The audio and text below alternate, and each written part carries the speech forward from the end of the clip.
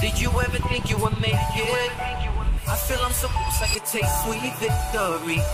I know this life meant for me. Yeah, why would you bet on Goliath when we got Bet David? Valuetainment, giving values contagious. This world of entrepreneurs, we get no value to hate haters. How they run, homie, look what I become. I'm the, I'm the one. Vinny? Yeah. What what area code is 343? Is there an area code 343 or no? 343? I don't know an area code. I don't know about that. I'm gonna check. Well, today's you wrap. episode is 343. Uh, with- Ontario, Canada. Where, what is that? Canada. Ontario, Canada. Ontario, Canada. No, And- we're and You have Pat. nothing to do with Ontario, Canada, right? Absolutely. Absolutely not. Uh, uh, our guest today he gets shy when the camera's on. So something happens with the camera, and he even expressed this is. his He almost, first le- time. he almost time. left. He walked Be a in little and was like, I gentle don't know. him. Yeah. Super It- camera it's shy. Colby. Chaos, Covington. uh, uh, he he's uh, he's got a lot of different personalities, man. You see him fighting, calling people out, getting a lot of people pissed off. We'll cover some of that stuff, but if there's one thing you know, you know who he is in the UFC world. Colby Covington, it's great to have you on, man. Thanks for having me on. I appreciate it. What an honor. It's it's great to have you here. I, you know, I think one thing most people don't know, and I don't know if you kind of like hide it from people that you don't want people to know, is your level of loyalty and admiration for President Joe Biden. Have you always has it always been a you know like a private thing? Because I know obviously you're wearing this this this hat called "Make America Great Again." How do you feel about President Joe Biden? Oh man, I I think he's senile. I, I don't think that he's still there. He can't even ride a bike anymore. So, you know, the guy has nothing there. I think that even his handlers are just feeding him too many drugs just to keep him alive every day. It's it's, it's sad to see. You know, they're holding him like a little puppet. So, you know, you see a guy like President Trump. You know, he he was at my fight in Vegas. He was at Reno the next day. He was at Iowa the day before. And Then he was speaking at New Hampshire the next day. The guy's got so much energy. Like that's what we need in office right now is a guy like President Trump who has the energy to to go all day and not get tired for our country. And, and it's so tough to understand a driver like him. Like it's constant, going, going, going, going, going. And today, I, I'm sure you saw. We'll get into the stuff with him. Colorado, he can't compete, and you know what they're trying to do. You know, with him, with him not being able to run. By the way, did you guys see what DeSantis when he was asked the same question? What he said? Oh, oh, but Rob, what- can you pull that up about Colorado when Vivek said, Oh, "I'm going to take called that? myself"? Yeah. He says, "I'm not." Maybe find that clip as well. But how are you feeling? You just had a fight with uh, uh, with Edwards. How you doing? Yeah. I, I'm doing good. I mean, I didn't get touched. Look at my face, man. I don't got a scratch on it. You do look good. You have no scratch. How'd, how'd you feel about the fight, though? How'd you feel about the fight? I mean, looking it back, you know, I, I, I doubled him in strike strikes count. You know, I had five minutes of control time. He didn't have one minute, so I feel like I beat him in the fight. You know, I broke my foot in like the first thirty seconds of the fight that people don't know about yet. That the X-rays will start coming Straight out. up, because you're in a up. boot. I mean, people can't obviously see it, but you broke your foot Yeah. in the first minute of the fight. The first minute of the fight, like I had the picture on my phone, like the exact moment where it landed on his No elbow. Shit. Yeah. Can we see it? yeah, for sure, of course. First minute. And you and, and First Colby- minute. And Colby, you know right off the like once once that strike hits, Colby, you know in your head you're like it's broke. Yeah, you You know it. You feel it swelling up where you're just like, oh, like that. At the end of the first round, you're just like, man, that hurts. Like I usually I sit in the on the stool and I didn't want to sit down in the stool, so this is like the exact. Damn. exact Colby, I, I mean, the, the fight went five rounds. When it came down to a decision, how do you fight the next four rounds with a broken the elbow. foot? Is Yeah, it the elbow? Hit the elbow. landed right on the right elbow, the top of the foot. You know, Wow.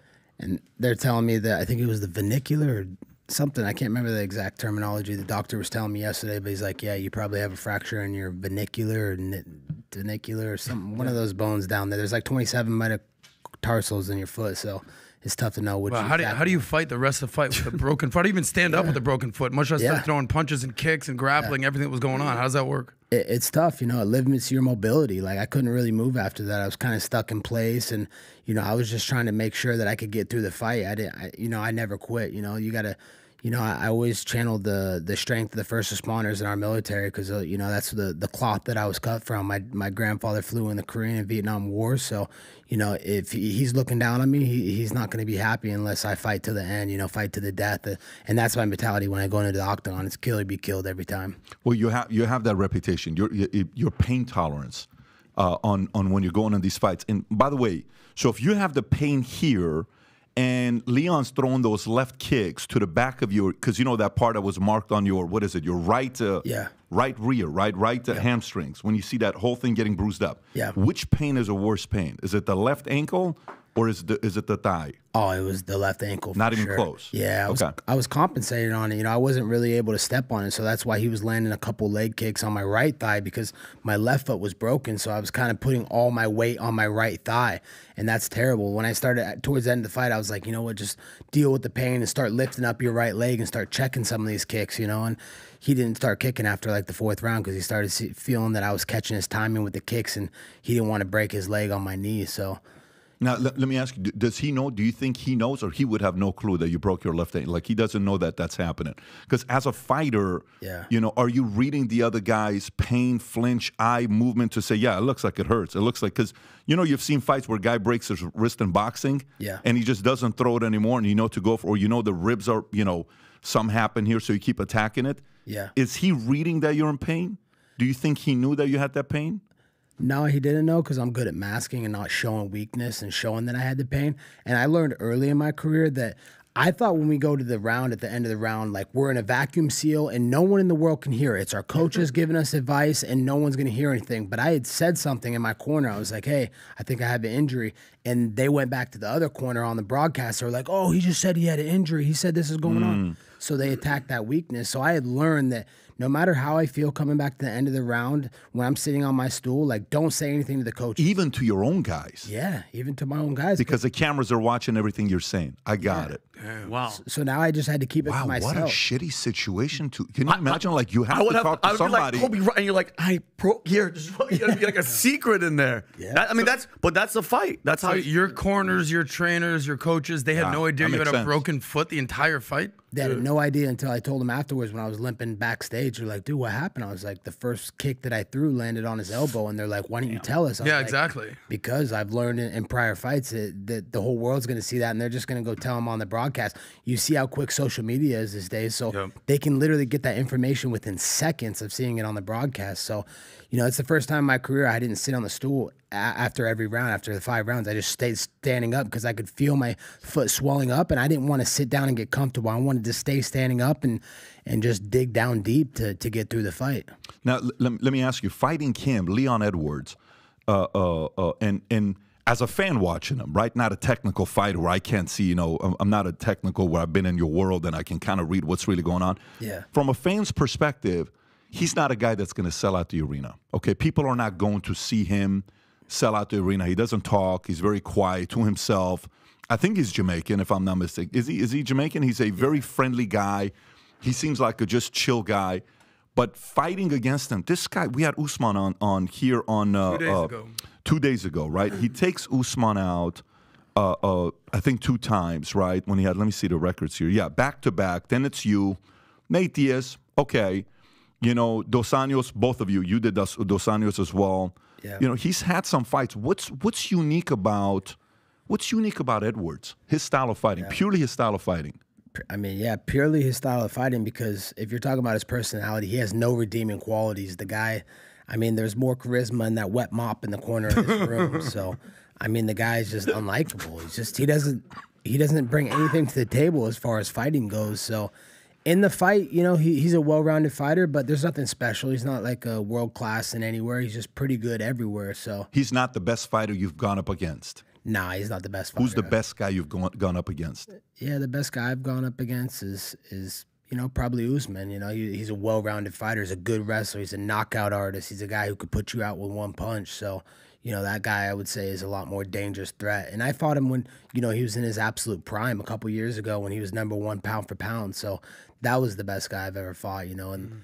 You know, he, he was a way more dangerous threat than Leon. Look, I, I just got out of this fight four days ago. I don't have a scratch on my face. I mean, I, I doubled the the strike count on him. You know, he got a couple leg kicks. That's that's how he won. Is is a couple leg kicks on me, and that was because I was compensated because I was favoring my right leg because my left foot was broken. So You, you mentioned, uh, I I think you were on Jesse Watters, that you think that they basically took this decision from you because you said you support Donald Trump and that cost you the fight. We all two part question.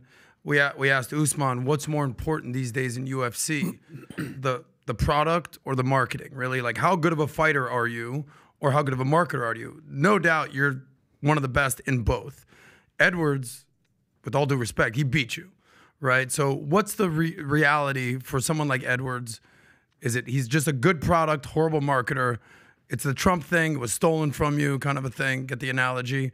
Where is he on this? Where are you on this? With all that being said, Yeah, you know, I don't think I was beat last weekend. I think I gained a lot more, and the fans see the truth of, of the fighter and the marketer that I am, the the entertainment aspect that I bring to this sport. You know, I make it fun for the fans. They pay their hard-earned money to watch us. So, you know, as far as Leon, no one was watching or tuning into the fight to see Leon. It was either the people that absolutely loved me, or he was just borrowing my haters for a night. It wasn't like he actually brought in any extra fans. Mm-hmm. So. but is that is that sustainable? Meaning, if he just wins every fight, I'm not saying that he's undefeated. Yeah. If he just shuts his mouth, gets to work, but wins, what's wrong with that?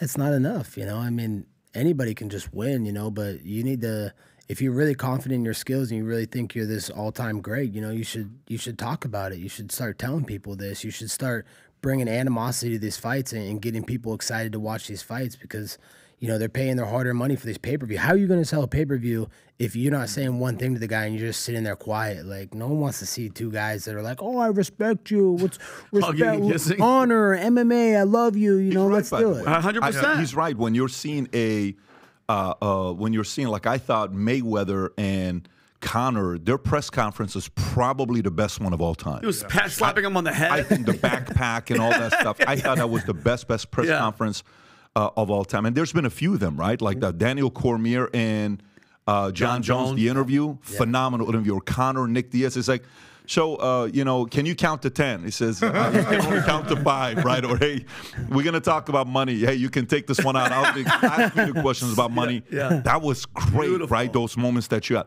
Yeah. And then some of them is again purely from a fan perspective some of them you know it's real some of them you know you're you're you're selling yeah you you kind of like okay because the other guy's not responding to any of it like when Conor did the uh, Muslim thing I think you know, with with him and Khabib when they were going back and forth and then you saw Khabib the guy says hey uh, salam alaikum you know and by the way Conor congratulations on your proper 12 and he says hey you can't say that and then say thank you to alcohol. Well, He yeah. says, "Well, do something about it, Yeah. right? These are moments Yeah. that are built to fights."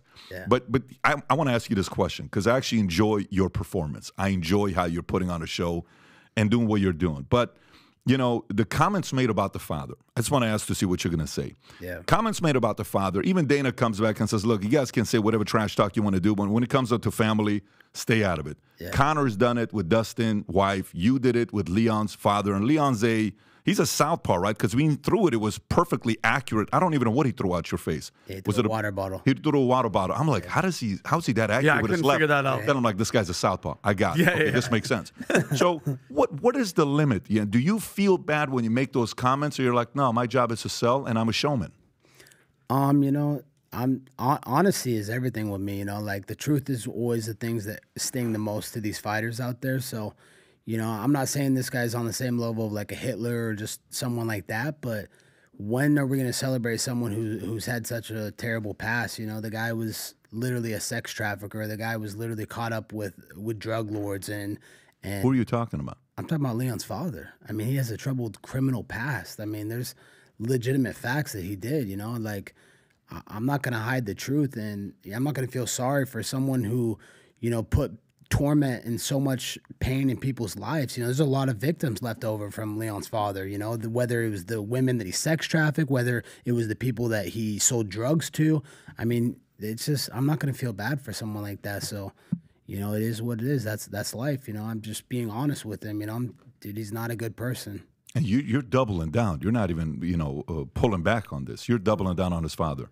I'm doubling down. Why would I feel bad for anything I say about someone that ha- is such a criminal and put so much pain in people's lives? You know, I'm not going to feel bad for someone like that. Just like Hitler, he was a he was a terrible person, man. You're comparing his dad to Hitler. I'm not comparing him to Hitler, but I'm saying it's that same level of bad guy. Like the guy, the guy sold drugs. He's he sex tra- sex sex and you know trafficked this? Is this public? Is this Yes. public information? Public information. And it's crazy because nobody, I mean, just hearing the comment, you're like, oh, dude, you, you're saying his dad's in hell. Nobody really knows. I, I didn't know about the history of his dad. I know his dad was sex trafficking people and selling drugs. I mean, if, if that's public information, so maybe let me ask a different question because, you know, uh, we run a sales organization and we have meetings that are very, very intense and sh- call outs and all this stuff. And we have a rule call out whatever you want, don't hit family, don't hit spouse, you're fine. Okay. And there'll be the shit talking that takes Yeah. place. Now, obviously, there's no fights. It's not a real fight that we're talking about.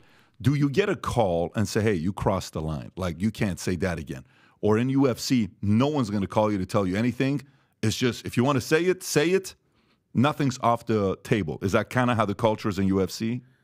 Or will you get a call at times? Yeah, I mean, you'll definitely get a call at times if if you're racist or you go after someone's religion, but I would never go after those two things. You know, I I'll expose things that need to be exposed because it's the truth and it's honesty. Like you can look up the public records about his dad, and it's not my fault. He's the one that put him in the limelight in the first place and tried to make it a sympathetic uh, figure. Oh, I lost my father. Oh, this and that, and they made it feel like, oh, let's give uh, Leon sympathy for this. Like that's not something you should give someone sympathy for. If my dad was doing things like that, I, I would call him out on that too. I'd be like, dude, I'm, you know, he probably deserves to be six feet under because you know he he he did a lot of bad things to people in this life. So. You know, I'm not going to feel bad or celebrate that person like he's a hero because that guy's not a hero. He's a villain. He's a he's a terrible person. He did terrible Well, things. apparently, he was shot and killed when Leon was 13. So, how much do you think this had adverse effect on you? Because Leon said he was completely enraged, emotional, crying. This is after he threw the water bottle. Obviously, there was a, a little tussle right there. And he said that, you know, it breaks my heart that he uses my father as entertainment. And he said about you, he said that he's a great competitor, but he's a dirty human being. This is his response to you. So, with all that being said, like, have you guys spoken after the fight? How does it work? Is there any apologies, or it's like, fuck you, go to hell? No, I mean, I didn't break his bank account. I might have might have broke his feelings. He might be hurt, but even Dana White said after I said that, the pay per views jumped twenty five percent instantly. Hmm. This is Dana's words and quotes. So, you know, whether you want to say it's for entertainment and for selling pay per views, you know, I made Leon a lot more money just talking about it. So, you know, what what no matter what you want to think of it, whether good or bad, you know, I put more money in Leon's bank account, and he should be thanking me for that. Colby, uh, uh, how much of this is because you know, like, uh, too short? Uh, not too. Sh- is it too short? Yeah, too The short. rapper? You know the rapper Too Short. Back in the days, I don't know if you remember Too Short. So Yeah. Too Short. You know, every record he would do, he said, "This is my final album." Six months later, no, no, this is the This final. one, I'm being About serious. twelve times, it was always we're buying Great his final album. But it's a great marketing. Another guy that was a great marketer. He says he, when he would hang out with uh, Tupac, he says on any given day you had no idea what personality would show up right one minute it would be the party guy. Let's go girls let's go you know. One minute is the philosopher. Did you know the hegelian dialectic and did you know what one minute is the revolutionary guy you know. So we're gonna go take over the world and it's not fair what they're doing to our people. One minute it was the gangster right? One minute it was the artist right? So you you didn't know who that person was going to be on any given day.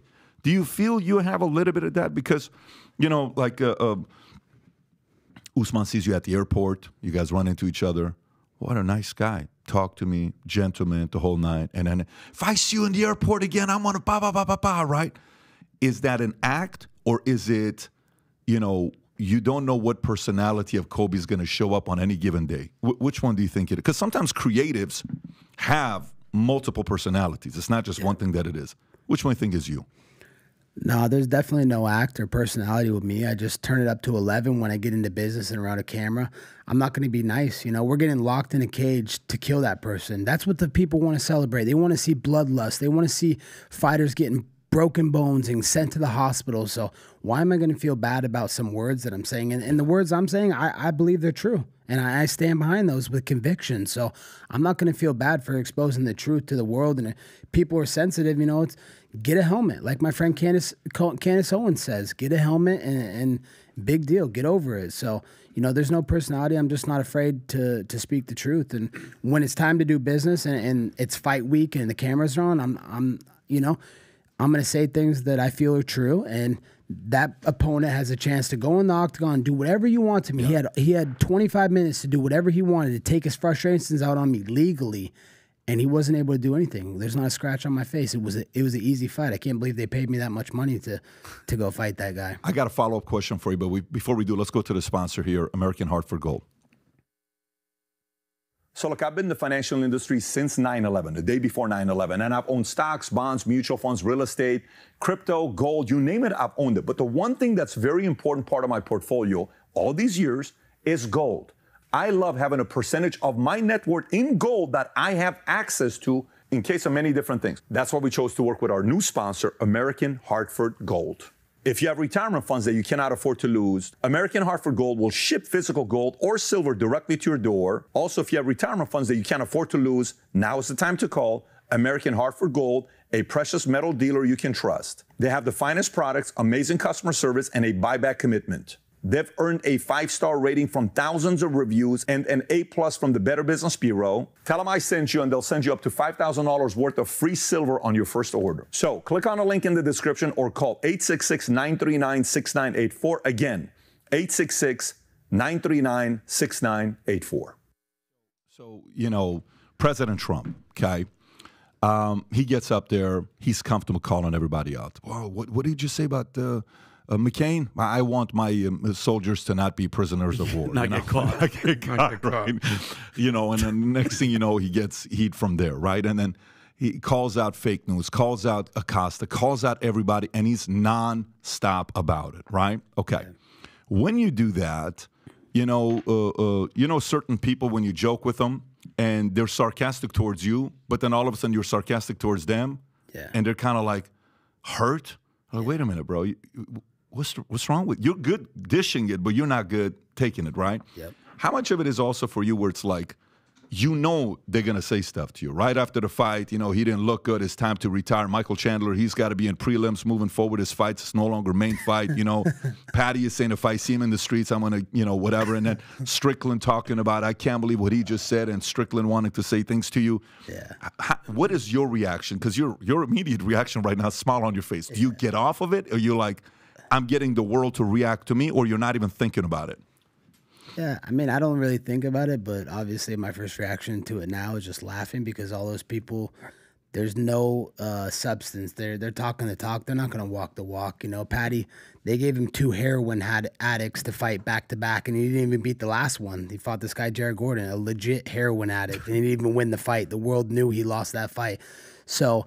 You know, if he didn't have a bowl cut and an accent, nobody would care about Paddy.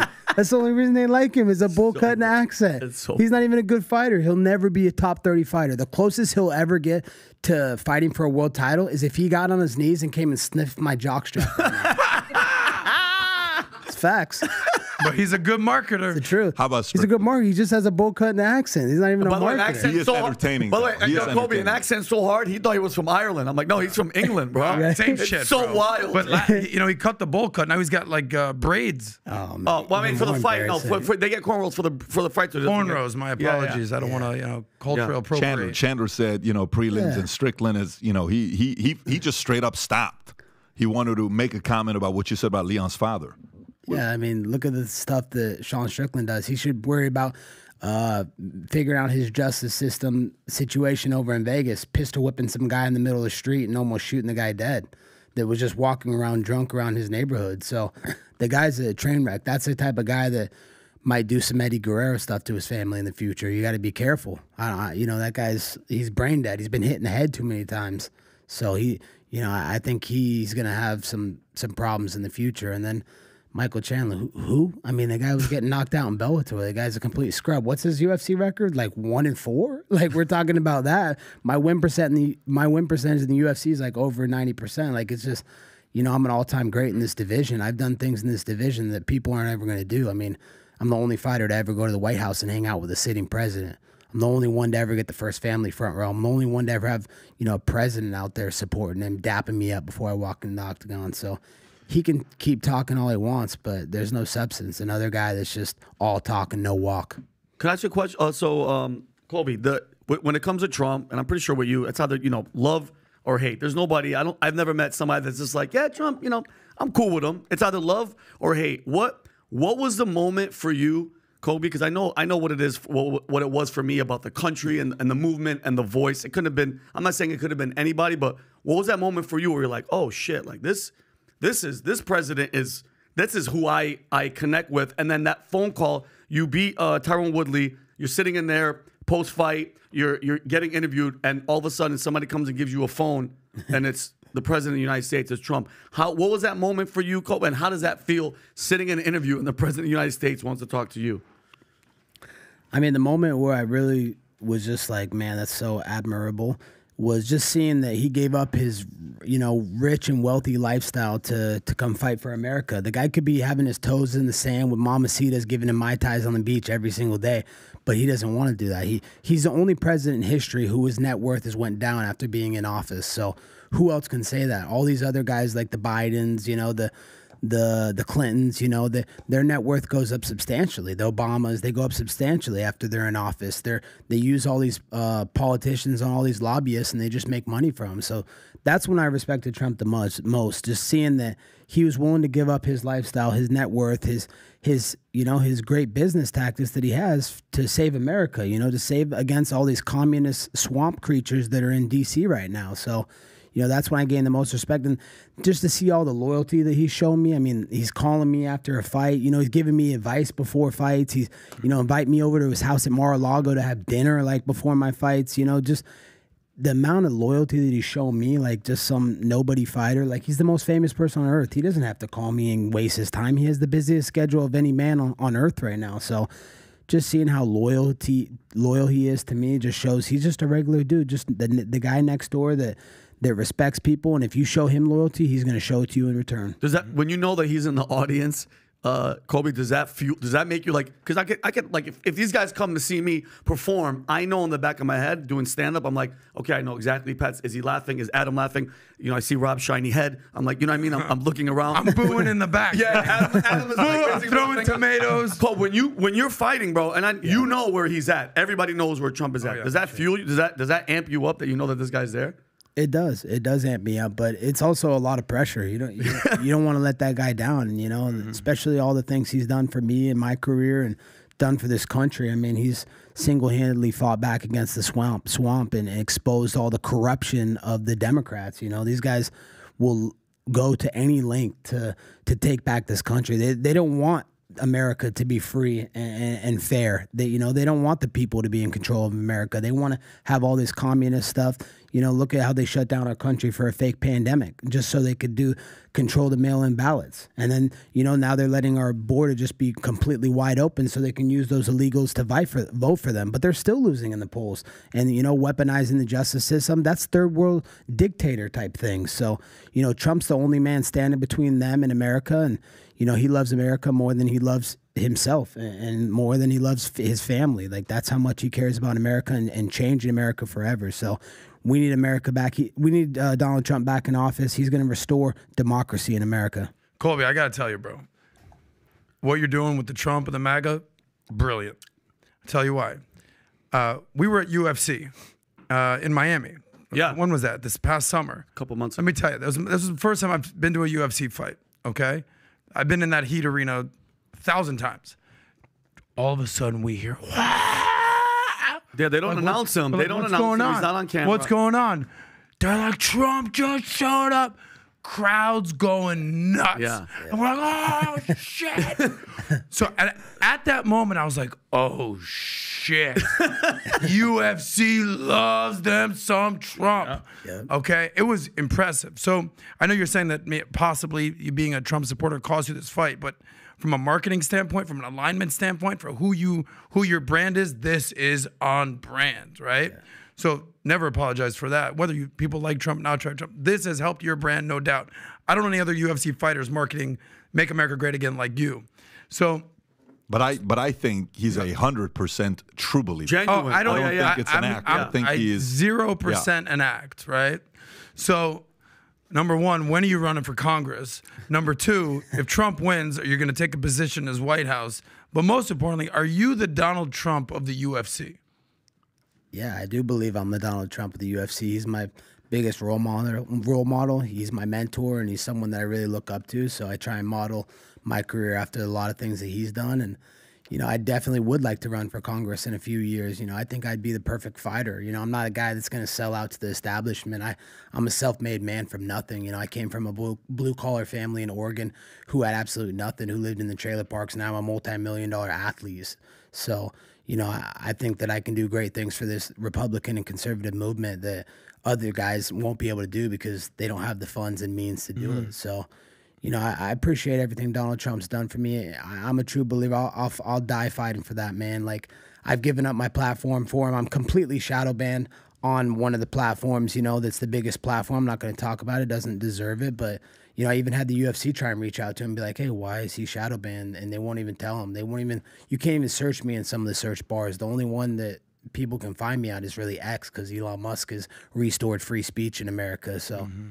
You know, I can't say the same for Zuckerberg. He's done some pretty nasty things. He believes in communism and, you know, he's he's in cahoots with China as well. I mean, and I mean, he put what five hundred million dollars into the last election, which is crazy for for mail-in ballots and all these places. He that's I mean Who, that's Zuck? Zuckerberg spent what was it, Rob? Five hundred million dollars Look, on the yeah, look. No, like, that's absolutely if and by the way, you know what he is. He's a Democrat. So where do you think that that money and all that thing was going for? Look. Can't even find my, my profile. I've I've had over a million followers for Hold on, this is on Instagram right now. If you type in Colby I was- Can't even Covington, find me. your name Look at doesn't. I was pop looking- up. Can't find I me. All I my fan pages. Stop it, dude. I, I bet- swear to God, I was yeah. looking for- Well, but but put in your actual like put it together so it's not. despicable. No, but Oh, but you have to put it together. Why do you have to put it together? Oh, I don't know. miss the say- end. Go miss the end. Just go like Colby Covington, like almost there. So you got to Yeah. spell out the whole entire Gotcha. name. Come Yeah, on. no, I'm Yeah. like, He's just right. tagging you before I came in here, Colby. It wouldn't let me find you. I'm like, Yeah. I had to put it in twice. I'm like, where the hell is? Colby? When did that start? That started four years ago when I put up my picture with Donald Trump as my head head profile By, picture. by the way, you know, i- if I type in, look, uh, Yeah, it's on your Patrick phone, too. Mahomes, let's just say, Yeah, the you put PA. boom. Just PA. Yeah. Yeah, It's the that first is one. Can we can we do a Right? quick little thing right here? Like People type don't realize how three like that super is. famous names and see how it pops up. Yeah, Patrick is first. No, no. Yeah, you- look. you- by the way, Yeah. put put Dana, put Dana like to see. Not even the right there. It pops up. Dana, Dana White pops Boom. up. Boom. Yeah. Okay. Unbelievable. That's, Uh, Try something like go in a complete different space. Go to Anthony That- I have all my Edwards. like, profiles that have 500 followers. Unbelievable. Type in Anthony Edwards, like uh, uh, right there. He just pops, Pops up. right All you up. have to do was Anthony. He pops up. Yeah, the blue check mark. Why? Why do you think that is? Though? Do you think? Do you, oh. you think it's pol- purely political? It's purely political. It's it's completely their agenda. They're trying to silence free speech. They don't want anybody that has that opposes their narrative. You know, and and if you go if you don't believe everything that the liberals say and you don't believe that it's flaming uh-huh. yawn, even though it's it's shit and they're trying to shove shit down your throat, then they'll censor you. They will not allow free speech in America, and that's what our youth and our kids need to see. Like this is the stuff they need to see. They don't need to have all this this woke CRT critical race theory agenda shoved down mm-hmm. their throats and and not be able to see the other side of it, the Republican conservative side. So, you know, it's it is what it is. I'm glad I, I would stand up. I don't need social media to know that I'm famous or know that I'm standing for what is right. I know I'm standing for what's right because look, I don't even like really talk so much political. I'm just showing my support for Trump. That's all I'm doing. Is you know I respect Trump as a businessman, as a man, as a father, as a family guy. The guy's just a great person overall. And look, I put up a picture with them, and that's why they're censoring me. They won't allow my uh, profile to be viewed by the masses. They want to shadow ban me. So it's just disgusting. It's despicable. Yeah, that that's that's a. a I wonder who else they're doing that with. You know, the fact that somebody can't find the name right off the bat and have to type the whole thing in, and have to put it together for it to pull up. Yeah.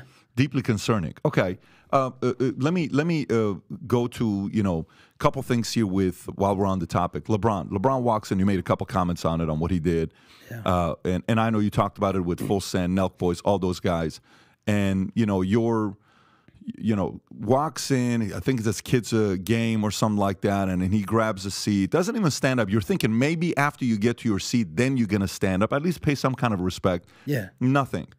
And you know, you know, you, you see that. Why is that important? So maybe maybe a person on the other side's gonna say, "Look, he just chose to sit down." Why is that important to somebody on the left, right, and the middle for the biggest sp- star in basketball to stand up during the national anthem? Yeah, why it's important is because the place that he's made all his money and his billion dollar net worth is the country that he's sitting down for that that national anthem. The the fallen heroes of the families that supported his uh, freedom here in America, so he could chase his dreams and have his opportunity in the NBA. He would be nothing without this country. Try and go make that money over in China. Try and make that money in Korea and all these other countries that aren't free. No, you couldn't do it. So the fact that he's just spitting on the face of all our all our service members, you know, all our military veterans, past and present, is it's the most despicable thing I've ever seen in my life. The guy is just, you know, he's just a shill. Why do you think he's not? You think it's intentional? It's intentional. Why do you think he's not standing up? Because you know he's paid and bought for by Chinese. He's a Chinese finger puppet. You know, the, he's got all his sweatshops over in China where he makes his hundreds of millions of dollars off merchandise. So he's told to to to you know be have a muzzle on him and not talk. Don't you think he's told, or you think that's him? Meaning, you know, you know, because I'm there's a lot of guys in the NBA that are, you know, somebody can say, well, you know, some owners, Mark Cuban defended this, this, that, but he still stands up. There's a lot of guys that are still paid by China that still stand up. Why do you think he's not standing up? I think he's just completely paid and bought for, and I, I just don't think he's intelligent enough to to formulate his own response to why he's not. He just it's just straight money going to his bank account. You think he loves America? No, he hates America. He he sits down every time there's a national anthem playing. He he shits on all our first responders. He he's literally called hits on our first responders, the people that protect us and keep us free. Oh, oh, police, BLM, oh, they're so bad. But then anytime there's any situation, oh, police, help me, help me, help my James family, come protect us and and make sure you know no, none of my crazy fans come after me. But then he'll go on on the internet and just talk about how police are so bad and and you know he'll talk about a 1% of a 1% of a situation and try and despise them like they're the bad guys when when our first responders our our law enforcement is our heroes and our backbone of our country in america Has he ever given a positive shout out to cops? No, Nope. I, I just saw this tweet from 2021. Remember when he deleted the tweet about police shooting uh, at M- uh, Ma'Khia Bryant? LeBron James- LeBron James is inciting violence on Ohio uh, police. This is this. What was a tweet that he had? There? I'm so damn tired of seeing black police, black people killed by police. I took the tweet down because it's being used to create more hate. This isn't about one officer. It's about the entirety of a system. Uh, uh, like I wonder, has he ever gone up and say, "Hey, I just want to thank everybody here, the the, the service. I want to thank the military personnel. I want to thank our officers, our firefighters, our first responders." absolutely not. Pat. Have you ever heard him say that? No, absolutely Not not. And and Colby, you, you you hit the nail on the head. Just the the and it just goes to show how much China. And I've said this on multiple podcasts. He's obviously owned by China. A lot of the athletes here are. Who is the the wrestler? Um, that, that John Cena. John Cena said something sticking up for the poor people of Taiwan, and then he had to say uh, an apology in Mandarin because he knows that that's the that's the hand that feeds that which feeds he him. somehow speaks Flu- fluently. fluently. but and, and mind you, dude, and I've said this so many times. China owns our asses. They fly spy balloons. They own. They own Biden. They own LeBron. And bro, the, the beauty about this country, and Colby, I'm a veteran. Pat's a veteran. You you have the freedom here to do that. You can do that. You could sit there. He can make snow angels on the court. But guess what? You're a shitty person Yeah. for doing it. I have zero respect. Okay, he's an athlete. People are like, well, you got to respect this game. I don't give a shit about the game. I'm not even a basketball fan. But you're a shitty person to go in there while everybody's standing up and respecting uh, the national anthem, and you're sitting there. That's a he's he's letting the world. Terrible know. example to kids. Though. That's what I was just gonna say. Terrible Kids are watching and going, "Hey, if LeBron James and people don't realize how many millions, Pat, how many millions of children in this country know, and they see that and they go, "Oh, you know what? He's doing it. To hell with America. You- you We're know, evil." We're by the way, for some people that are watching this, who are diehard LeBron fans, Yeah. okay, they're like, "Oh, you guys are being unfair." I would love to see a video clip of him giving a shout out and thanking cops Or military. firefighters or military personnel. I'd love to see it. I've never seen it. yeah ever. Yeah, I've never seen it. especially when he uses their service so constantly. You know, it's That- that's- police, yeah. police security Right. detail to protect his family. So the guy puts a ball in a hoop. You play a kids game. You're not. You're not. You haven't solved world hunger. You haven't solved cancer. Wh- Stop acting like you're so righteous and, and you're perfect, dude. That guy's not a role model. The role models are military guys like you who who fought for our freedoms and defended our, our country's land. You know, first responders who you know protect our, our communities, protect our our you know all the big people in this country and those are the those are the role models that our kids should be looking up to not these athletes who put a ball in a hoop how does that make you so special you know Colby, maybe there's a deeper narrative here, you know, because right now I'm picturing Colby versus LeBron, right? But I'm going deeper. I'm seeing UFC versus the NBA. What do I mean? So we all remember during 2020, during the bubble, no league was more woke or social justice warriors than the NBA. yep Everyone like literally changed the name on their jerseys to whatever cause they had, end racism, The current bull, thing, whatever. The, whatever it was. I think a couple guys had I'm with her. I don't know what's going on out there. yeah But UFC, so that I mean, even Golden State Warriors, when they won the championship, they wouldn't go meet Trump in the White House. So I think it's fair to say that the NBA is left. I don't. Hard I don't left, see Trump going to NBA games. No. I see Trump showing up to UFC fights. I see a lot of UFC guys. You know, even Masvidal, who's not your buddy these days. We can touch on that at this point. He loves him some Trump, and a lot of guys are, are kind of, I assume, are in that camp. So, from a deeper perspective, the UFC, the mentality, the ideology there versus the NBA, what they stand for, the relationship with China, not going to visit the White House, Adam Silver versus Dana White is a bigger, compelling story here. Give us the bigger narrative NBA versus UFC. Yeah, the bigger narrative is, you know, Dana White, Hunter Campbell, the guys that run the UFC, they're free speech absolutists. You know, they believe in us not being muzzled. We should be able to say whatever they want. You know, in the NBA, Adam Silver tells them, "Nope, you're gonna stay. You're gonna say the left narrative, and that's there's only going to be one way that we're going to talk about because those are the guys that are paying our bills. Those are the ones that we have our merchandise deals with. Those are the ones that we have our our TV deals with over in China. So, you know, NBA is not a free league. Like I have guys that have reached out me, to me on Instagram from the NBA that are like, man, we appreciate what you're standing up for, Colby, but we can't say the same thing because then we'll lose our livelihood. Then we won't have our checks to to pay for our, our houses and pay for our food on the table for our families. So I feel bad for these guys where they're not allowed to express their real thoughts and feelings. They have to but they have to listen to what you know the narrative that's shoved down their throat from the left in the NBA, and that there's one way. And if you go up against it, then you're going to lose your job. I mean, look at what they did to Kyrie Irving. They painted him out in the street like he was the biggest villain of all time. The guy's just you know believe in free speech, believe in you know his own you know right to choose what he should do with his body. My body, my choice. He's not like a guy like Travis Kelce out there who's believing in oh I'm paid off by Pfizer. Guys, get two shots at the same time. That's the healthiest thing oh, you Oh, could ever do with your life. Dude, two sh- shots. I mean, I didn't get the vaccine. I don't believe in vaccine, but I'm not against someone that does believe in vaccine. If you did get the vaccine, you should probably just get one at a time because if there's an adverse and, and wrong effect in it, then how are you going to know which one's the cause of it if you're getting two at the same time? That's irresponsible. Travis Kelce is one of the biggest pieces of shit of all time. The fact that he's advising people to do that, you know, he's not doing it. He's just telling people to do it because he's getting paid off and bought for by Pfizer. It's disgusting. And how much you think Taylor Swift has this? Because Taylor Swift is Taylor Swift is sort of the darling of the left. Dude, this guy won two Super Bowls. Yep. He seems like a rugged badass dude. You know, arguably the greatest tight end playing today. Uh, how much is the left, the narrative, the Taylor Swift coming into Travis Kelce and infusing their ideology on him? You think?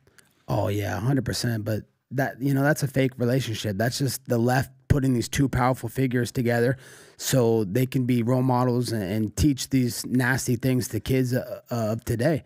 You know that it looks you can tell that the left is just going after the most famous people they can, the athletes, celebrities, entertainers, and they're just getting them to shove their narrative down these kids' throats. Wait, Yep. what? Guys, I just searched something right now based on what you just said. Okay, I, I, I- if you don't know the answer, I'm really curious to know what you're going to say. what do you think he got paid for from Pfizer for this commercial? Hundred million? No, no, No, no one's no. going to pay that kind of money. I'm saying, no. I'm saying for for No, the no, whole no. campaign. Let me No, tell you something. no. For a hundred million, I'm fucking They have jabbing the money. everything. But, but hear me out. No, hear me out. Typically, you get a cost like half a million bucks, Yeah. a Yeah. million bucks. That's a big deal, right? Yeah. What do you think he got paid for that? Okay, now that's like that. What five million? What do you think? Got, that's a lot. I, I've not heard of five million dollar deals for a Travis Kelce. What do you think I paid for that? I mean, listen, for you to go around and be the the spokesperson for Pfizer and you're the face of the NFL and you're dating Taylor Swift. How much? Yeah. Whatever number you like, dude, I would Give it to him. Hold I- this number up, I- Rob. I I'd go just sent you- ten look million at that. dollars. Twenty. Twenty million. Are you kidding me? Oh wow. Did you guys know this? I did I had no idea. this. I just googled it right. It makes According sense. to a report from Andrew Pitcash, Travis Kelce was offered a strong incentive to take part of the Pfizer promotion. The Kansas City Star is stated to stated to have made a massive twenty million dollars from the advertisement. Oh, weird. Oh my God! I had no clue. And then think about this, but Yeah. and you nailed it. I Cole. believe it. But yo, Shit. look, look at this, it. look at this tactic. And I said this yesterday. You got to tip your hats to, to Democrats. They recruit his ass. They make them date. She's a, a Democrat. You wait in six months. Guess what she's gonna say to all her? What are they called? Her, Swifties. her Swifties. Hey guys, Jo- Do- if Donald Trump makes it, hope to God, don't vote. They're evil. Vote for whoever, Newsom or whoever. Do You know how many, how influential her voice is going to be One for a million vote. percent. And that's the tactic. Get nine jabs and vote for the left. They're not stupid. But let me tell you something. That's though. money well Let me tell you something. You know, I, I would never mess with the UFC. Those guys are badasses. You do not want to mess with the Swifty. I'm Yeah, gonna no those shit. Guys, so check this out. Look, look, at- look at this. Go, go, go on the article and go a little lower. Watch this here. Go a little lower. Okay, zoom in right there on the top the top tweet. On the top tweet, right above it. Keep no, no, the other way, the other way. So Kelce typically makes five million a year from endorsements and $14 million salary. These endorsements are Nike, Tide, T-Mobile, Old Spice, Walgreens, McDonald's, Papa John's, Sleep Number, and Dick's Sporting Goods. One company, Pfizer, paid him four times the amount of all of those big companies paid him. So, oh my gosh, I don't like that. Man, 20 million bucks? Uh, this this is a, no no. This is exactly why Yeah. when I talk to Vivek and RFK, I say somebody as a president, you have to take, you have to not allow big pharma to pay this type of money put for people because you're going to be tempted to like he just said what? He said i'll take $100 million even adam's like i'll take $100 million for this. But imagine how many other kids are sitting there saying yeah that's my guy he's dating taylor swift. I'll take the vaccine. I'll do this. I'll do that and what are the effects on that Myocarditis. and let, Myocarditis us say it's one in a thousand. Let's say it's one in ten thousand. Let's say it's one in a hundred thousand. You're okay with that? I don't know about that, man. Twenty million bucks. I, I thought it was honesty. I thought the number was going to be a million to two and a half million max. When I saw that commercial, I thought it was a spoof. Crazy Time number. out, Colby. When I saw that commercial, I'm like, this is a comedy spoof. Well, I- Jab yourself twice. Get out of here. By the way, the reason I even know about this is because you know who called him out initially was Aaron Rodgers. yeah. on the Pat McAfee show. Yeah. But let me tell you something. I believe in free market capitalism. Make your decisions. If you want online, you want to go basically literally sell out to Big Pharma and take your $20 million. No. You do what you got to do, Travis. No. But we have the right to be like, uh uh motherfucker, hold on. yeah, that's Call that not. like, no. I'm, I, so- I'm so grateful that people even found this. Twenty yeah. million He made 5 million. Go back to those By the way, brands how come again, we don't Rob. know about this. How is Yeah, this not public exactly. information? I, we read, we read These are some of the every day. bigger, biggest brands in the world: Nike, Wow. Tide, T-Mobile, Old Spice, Walgreens, McDonald's. I mean, this is massive, billion-dollar marketing Well, yeah, hold on. Why? Why? All of that does not equal what Pfizer why, did. Why? Why even? Why even play football for 14 million a year? The hell with getting a concussion and getting your brain messed up. Just keep saying, hey, next year, be like, hey guys, get three more jabs. Twenty million dollars a year. Why are you playing football? So not a year for one by commercial. The way, so by the way, you know some of the guys in, in, in all sports watch this, and you know that we we talk to these guys. You know some of the names. We won't say publicly, but you know what they're thinking right now. They're probably calling their manager. Hey man, yeah. For sure. Hundred Hey, you- percent. are there any Can make this commercials? But think, think about how tarnished Pfizer's brand is. That whatever their marketing budget was before, they need to double it, triple it, 10x it. Prior to What? whatever happened with COVID, if they called Pfizer, he's like, yeah, for a half a million bucks, uh, whatever. Twenty million dollars, they come knocking down your door, one and they throw in a free Swifty CD, dude. You're gonna fucking. By the way, that's 20 You're gonna consider that. That's thing. 20 million for one, Yeah. like half a day of work. for all a he said was- campaign. Yeah. Wow, that's Look, unbelievable. the, the, the, I'm telling you, I want one law for president to push. Mm-hmm. Hundred out of all the countries in the world, nearly 200 countries in the world, only two allow big pharma to advertise. We've talked about this a number of times. Yeah. It's U.S. and New Zealand. Mm-hmm. We just need one president to come in and say, "Hey, big pharma." You can no longer pay Travis Kelce 20 million bucks to do something like this. Not big pharma, okay? Well, that's not fair. Don't you lo- believe in capitalism? If you believe in the capitalism, you believe in let cigarettes be sold on, you know, how come cigarettes don't do advertisement? How come tobacco? There's a lot of companies that can't do advertisement on TV. I think these guys after COVID have proven they don't they should not have the free for all to throw money at everybody and say go advertise. 20 million That's bucks. bananas. It's gaslighting. one people. commercial. You know he's not really actually taking two jabs. The guy talks about health is his cornerstone of, of his career. You know the things he puts in his body for for his diet. You know his his work ethic in the in the gym, lifting weights. Those are the things. That, but they're trying to brainwash these kids like, oh, take the jab. This is what's going to make you healthy. This is what's going to make you a star NFL player. So that that's gaslighting. Let the me ask public. you, bro. Let me ask you a question. What's your vibes? If we go out and we're watching, you know, uh, uh, we're watching, we're hanging out at the play, playing cards, and Kelce's a neighbor. He comes, him and his brother. Would you get the vibes of them being conservatives or liberals? I get conservative. I get conservative I do too. Me too. Right? Yeah. The brothers, like uh, you know, him and his wife, they they're doing family the way they were raised. I get conservative vibes. Yeah, for sure. For twenty million bucks, you'll be a Democrat soul. for a day. You're sell, yeah, but you're selling twenty your million soul. bucks. Selling hey man, Selling your soul, dude. Everyone Sold his soul to the has. No, a price. no, no, no, disagree. I disagree. Everyone ready, has a ready for this? Ask him. I ask him if, if for for 50 million, would you do that commercial? No, I wouldn't do that for any. million. Bingo. You can't do that. You can't buy you me. Can't I'm sleep not- at Adam, night. Adam, can't you know, sleep at Adam, night, Adam. let me let me.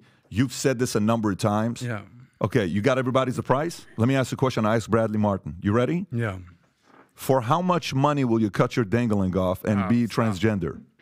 No. Everybody's got a price, to go No, ahead. no. For how much money? Two hundred million. Hang on a I'm second. not- Stay on this topic. listen, Would you do it for I'm a billion cutting bucks? off any limbs. Would no. you do it for a billion bucks? I'll cut my uh, left pinky toe off, no doubt. But do you understand? So when you say every- everybody has a price, they don't have a price. There's How about just, this? How it about just this? means the majority, the vast majority no, of people they- do have a price. They don't have a price. But hear me out for a Yeah. second. It just means this is not a hill you want to die on. For you, Yeah. you're like, hey, Saucecast, a million dollars Pfizer, I'll take it. Maybe you would take that sponsorship, right? Not enough, but okay. Okay, but what I'm saying is, but maybe you would take it for, and I don't know if you're going to get twenty million dollar pull because you don't have that kind of pull that Kelce has. You're Yeah, not I mean, dating Travis, Taylor Swift. I mean- Yeah. yeah, but, but all I'm saying to you is, Taylor? maybe you'll say, I'll take the million bucks because to you, I don't give a shit. What's the big deal? I've taken flu shots. I've taken this. When I travel, I have to take this shot, that shot. But there are people that wouldn't take it if you gave them all the money in the world. There are people literally that wouldn't take it. That, even that statement, everybody has a price tag, gets the populace to believe, well, I have a price tag. No, I don't think that's the right mindset to think everybody has a price tag. You may in certain areas you don't give a shit about, but I think you have to have more, you know, certain values and principles that you're not willing to compromise. It's disappointing because I like his play. I actually like him as a guy, and I like him and his brother. I like the fact that they are, you know, they seem like the type of guy you would actually enjoy their company. You know what I'm saying? Kelce's don't give me the vibe of like you wouldn't enjoy their company, snobby people. Uh, they give me the Gronkowski w- vibe, right? It's just you're probably fun to party with him. Maybe not his brother was a good guy to party with, but he comes across as a guy that you'd want to party with. I'll tell you. Twenty I- million bucks. Wow. I'll give you a quick response, and this is why I say everyone has a price. Um, I firmly believe that I don't think Travis Kelce is aligned with whatever this narrative is on the left. But when they come to you, you've been in these spotlights before. You've probably been approached by all sorts of people. They're like Travis Kelce. You know, two years ago, nobody knew your freaking name. Now you've won two Super Bowls. Let's make a deal, buddy. What you got in mind? All right. Well, Your soul. uh, how would you like to be the most famous player in the NFL? What? What do you mean? Yeah, Tom Brady's retired. You know, there's someone else that can pick up the mantle. How about we throw in $20 million to shoot one commercial? All right, go on. What's it for? Pfizer? Ah, I don't know about that. How about we'll make it a little uh, sweeter for you? Uh, name the biggest, hottest pop star in the world that maybe you'd want to be seen out with constantly. Cardi B. No. No, no, no, Cardi. Okay, you know maybe Taylor Swift shows Yeah. up to your uh, Arrowhead Stadium for a game randomly, and you guys maybe you guys fall in love by you know accident. Who knows? Maybe maybe, this happens- maybe you're on the co- cover of People. Maybe you're the biggest show in the world. Just maybe Travis Kelce.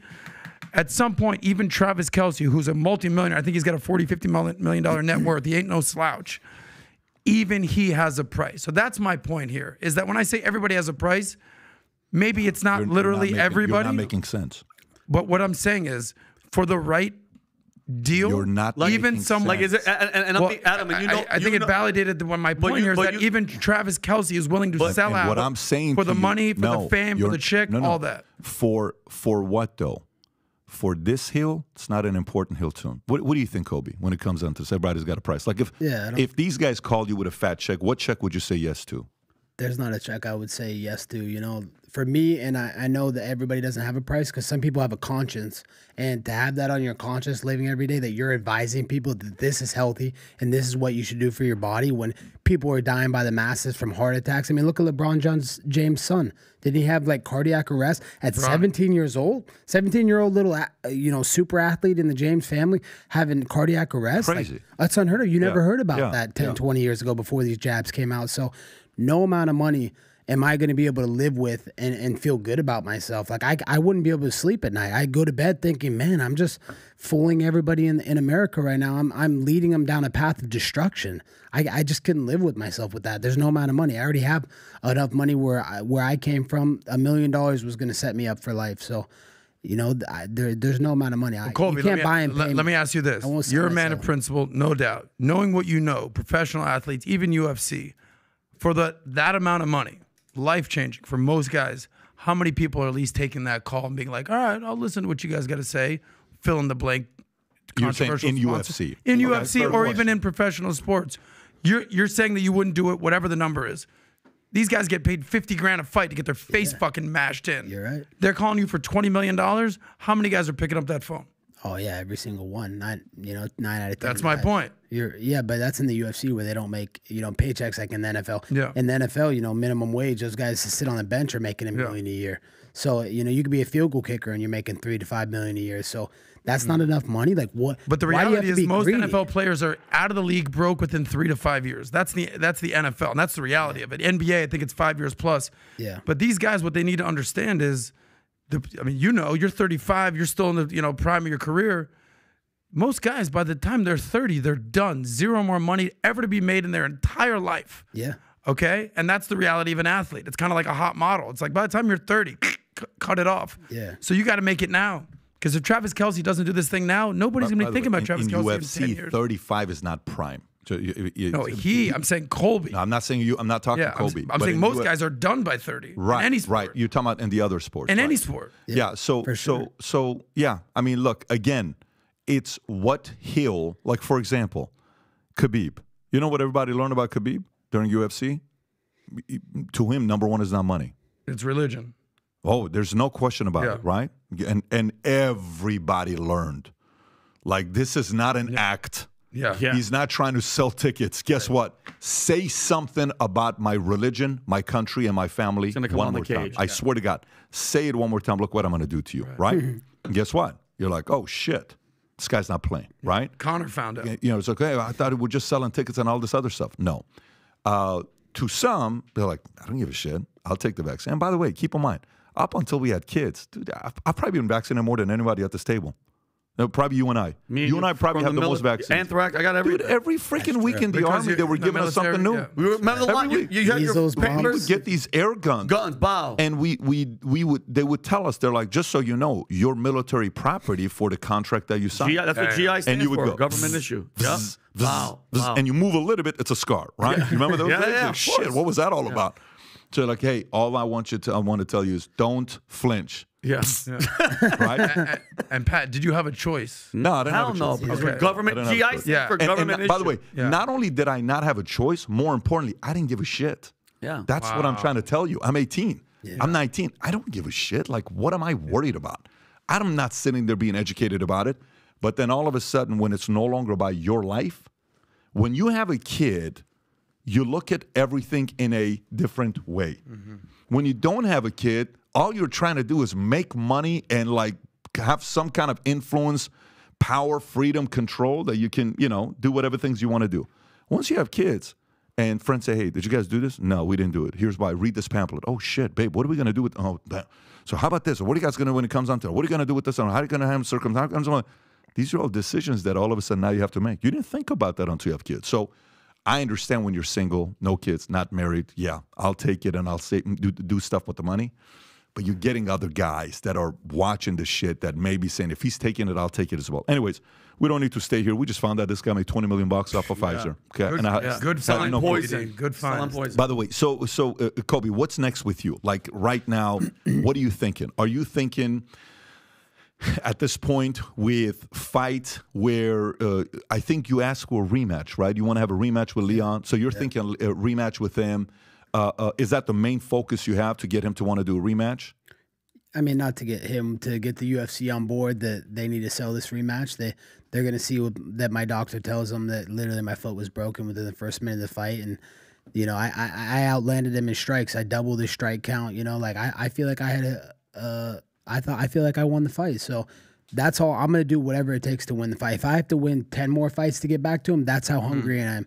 I'm not like one of these guys like Zion Williamson where he gets a contract and he just loses his motivation. You know, he he already got paid. He's he's not hungry. No amount of money money is gonna take away my hunger and passion and drive for this sport and and for the platform that I love. You know, my platform stands for first responders, stands for military, stands for the Trump, it stands for the troops. So I'm gonna keep fighting with those guys on my back and I'm not done yet. They they could say whatever whatever they want. They could say, "Oh, I'm past my prime." I'm not past my prime, did I I'm just hitting my prime because I took good care of my body. I didn't spar hard. I didn't, you know, go get my my hit head hit recklessly. Or I've never been knocked out. So you know, like I'm just getting started in my career, and I'm gonna I'm gonna keep fighting, and, Bro. and I want that rematch. What did Zion do to you? Like you brought in mm-hmm. Zion, like that was Yeah. such a. I was. I mean, I'm just saying he's one of those lazy, undisciplined oh, athletes. dude. he's one of those guys like Yeah. they get these paychecks and and they just lose their hunger. They, you know, they just look at how much weight he's gained. The guy just, I mean, he's a flat, fat slob. You know? So he didn't lose his hunger. That's Yeah. the one thing he didn't lose. It was the yeah, he didn't Yeah, lose his hunger. point. My Yeah, that's a bad, good bad, point. bad analogy. Get that Chris Christie and, and he's, issue. he's got a pretty good DM game. He's DMing everybody nowadays. He's he's Yeah, apparently he wants to get he wants to be the goat ahead of Sean Kemp and Brian McKnight, but that's a, that's a different conversation that we brought those two guys up. So, but but going going back to this with the you know wanting to come back and fight for you after uh, uh, the world is done with, after the world of UFC is done with, are you thinking what you're going to be doing? Like, are you you know, uh, because right after all these sports is typically going to be specifically UFC. The guys that don't have personalities, man, they don't know how to make money. yeah, They don't have any options on how to make money. true. Where do I go to? Literally, the only thing you can do is be an instructor somewhere, making hundred bucks, two hundred bucks an hour. You're training other people if you can get paid that, right? True. But those that have a personality, do you see, you know, I, you know, sitting next to Joe, like you, you're commentating on stories. Do you see kind of maybe your dedication to the game? You're going to open up your own commenting gym and train. What do you see happening to you after UFC? Have you thought about that? I haven't thought about it because I'm still 100% in the UFC. And I, I feel like, you know, when you start putting that one foot out and start thinking about what's next, then you should probably retire. You're not still completely invested into fighting. So I still know I'm one of the best fighters in the world. You know, I just went five rounds with, with the supposed champion, you know, who's. Who, who was supposed to just completely decimate me, and it was a very competitive fight. Could have went either way. So, you know, I know that I am more than just a fighter, though. I'm not just a fighter that shows up and fights in in these in in the octagon. That's not all I can do. You know, I'm smarter than that. I can use my mind and I have intellect to be able to navigate the waters and get me where I want to go in life. But I haven't thought about it. I do want to get into politics one day because I want to fight for what I believe in. You know, I want to get into Congress, maybe Senate, maybe something shit. like that. Maybe be the governor of Florida. That would be my ultimate dream to be the governor of this state. Get out of here. I'd vote for Yeah. you. Really? so you want to be a governor of Florida? I do. You know, Wow. I, those How do are you my think- dreams. how do Interesting. So, what do you, what do you think about the, uh, Matt Gaetz? A lot of people are saying Matt Gaetz could be the next governor of Florida after DeSantis. Yeah, I, you know, I think Matt's he's a great personality. He's a very smart, witted guy, and you know, he's had, you know, there, there's definitely some things that I've seen him vote on that I didn't completely agree with, but you know, no one's perfect. You actually follow this stuff. You actually follow the, the political. How, how much do you follow? How intently are you following issues? Yeah, I mean, issues not. I mean, you know, I, I'll check X and I and I get all my issues there because I can't check the fake news. We know the fake news will try and tell you that the world's burning and that uh, you know that everything is is fine. You know, and just to live live your life normally and not worry about inflation hitting skyrocketing prices or our border being completely open and terrorists coming through it every single day. So, you know. I pay attention, but I'm also like, you know, I don't want to start going full in until my career is over and I can dedicate my whole time to it. Governor, mm-hmm. Governor Covington. You know, you know, Dude, you I love that. By the way, you know, Sick. Have we ever, has there ever, have, has there ever been an MMA professional fighter running for high levels of office? has that uh, ever happened? No, no. But Jesse Ventura was a governor, but he was a wrestler. Yeah. But like with with him, No, because like I can imagine you like debating. You're like, and like you like cameras are off, and you're like, I will fuck you up. No, no, by the way, the line ends up with, For and by the way, if you have a problem with me, we can handle it. after. you want to go outside? Let's go outside. Let's go. Hell There's yeah. an element of that. What that would be about entertaining. Um, you're you're in Florida? You know, you're you're obviously on on Team Trump. Uh, Governor DeSantis. I assume you voted for him. Um, ever- it, you didn't vote for DeSantis? No, I didn't vote for DeSantis. Oh, straight. I mean, that was in 2022. Um, what are your thoughts on his his situation with Trump these days? He was super Oh, close with him in the polls. Now it's a landslide. Do you think MAGA would ever get behind DeSantis? What are your, what's your anticipation there? No, MAGA never forgets. You know, we once you expose yourself for being a certain way, he, he's an establishment puppy. You know, he's he's sponsored by George Soros. I mean, the guy's an unloyal and unfaithful human being. Let me like, if it wasn't for Donald Trump endorsing him for governor of Florida, he would never be the Florida governor. Mm. So. For him to try and come run against Trump when he had no chance from the start is just the most despicable thing alive. Like you, you have the rest of your life. This is Trump's last shot to save America. He's the last thing that's standing between communism and capitalism. Donald Trump is loves this country more than he loves his own money, like in his own business, in his own life, in his own family. Like, why couldn't he just step aside and let Trump have this last hoorah? You know, like he's got the rest of his life to to run for politics. So it just shows he's an unloyal, unfaithful person, and and MAGA will never forget what he's done to to Trump and try and throw him under the bus. And the fact that he's not condemning Colorado for taking Yeah. Trump off the ballot, that just shows how dangerous and and just how bad of a person he is. Like you think that's okay? That's unconstitutional. That's that's not that's not a democracy. That's straight up communism. That's straight up dictatorship. And the fact that he's not condemning it just shows what type of person he is, and we'll never forget that. Are you following the primaries? You see what's going on with DeSantis, Nikki, Vivek, Chris Christie somehow still there. Um, Trump hasn't showed up yet. What's your thoughts on what's going on with the primaries? And if Trump somehow wasn't the candidate in some other life, who would you? Would you? What are your thoughts on Vivek? What are your thoughts on Nikki? What are your thoughts? Yeah, I mean, I, I, you know, I think Trump has run away with the primary. There is no primary. It's it's the party of Trump. So, you know, he's he's gonna it's it's a landslide. He's beating Biden the polls, and that's why they're trying to find every different way to take him off the ballots because they know they can't beat him fair up. You know, they they know that he's a threat and and that they can't stop him. So, you know, he, he's the last thing that stands between us and this being a full out tyrannical government. So, you know, if if Trump wasn't on the ballot, say, but he, you know he's going to win this nomination. He's going to make America great again. But if he wasn't, you know, I like the things that Vivek's saying. I think he stands for truth. I like that he's backing Trump and you know he's condemning you know Colorado taking him off the ballot because that's that's unconstitutional. That's not democracy. So. You know, I think Vivek's doing a great job. Smart guy. He's a uh, you know tech guy. He's made a lot of money. He's done good business, and that's what we need. We don't need these political figures that talk so politically. Oh, everything has to be politically perfect. No, we need these smart business people that understand how business works, because that's what's going to help America. Stop sending all our money out of the country. Let's put America first again. No one's done that. You know, they're trying to destroy this country. They want this country to be rotting you know and and a lot of people would be letting this country rot and just enjoy the money on the sidelines but not trump. He he cares about this country more than he cares about life itself and he's willing to put himself in the fire and he's the biggest fighter america's ever had. He's going to bite down his mouthpiece he's going to come out here fighting and he's going to take down the swamp. God bless donald trump. Rob, I just sent you a video. If you can pull this video up, uh, uh, this is the part where DeSantis is being asked uh, about Vivek's pledge. Like, hey, here's what Vivek's doing. What do you want to do? Are you willing to agree to this? And a lot of people are saying this is a bad look, but I wonder what you guys think about this. Go ahead and play this clip. And real quick, fellow GOP 2024 presidential candidate Vivek Ramaswamy saying he will remove himself from the Colorado ballot unless Trump's eligibility is restored. Would you do the same?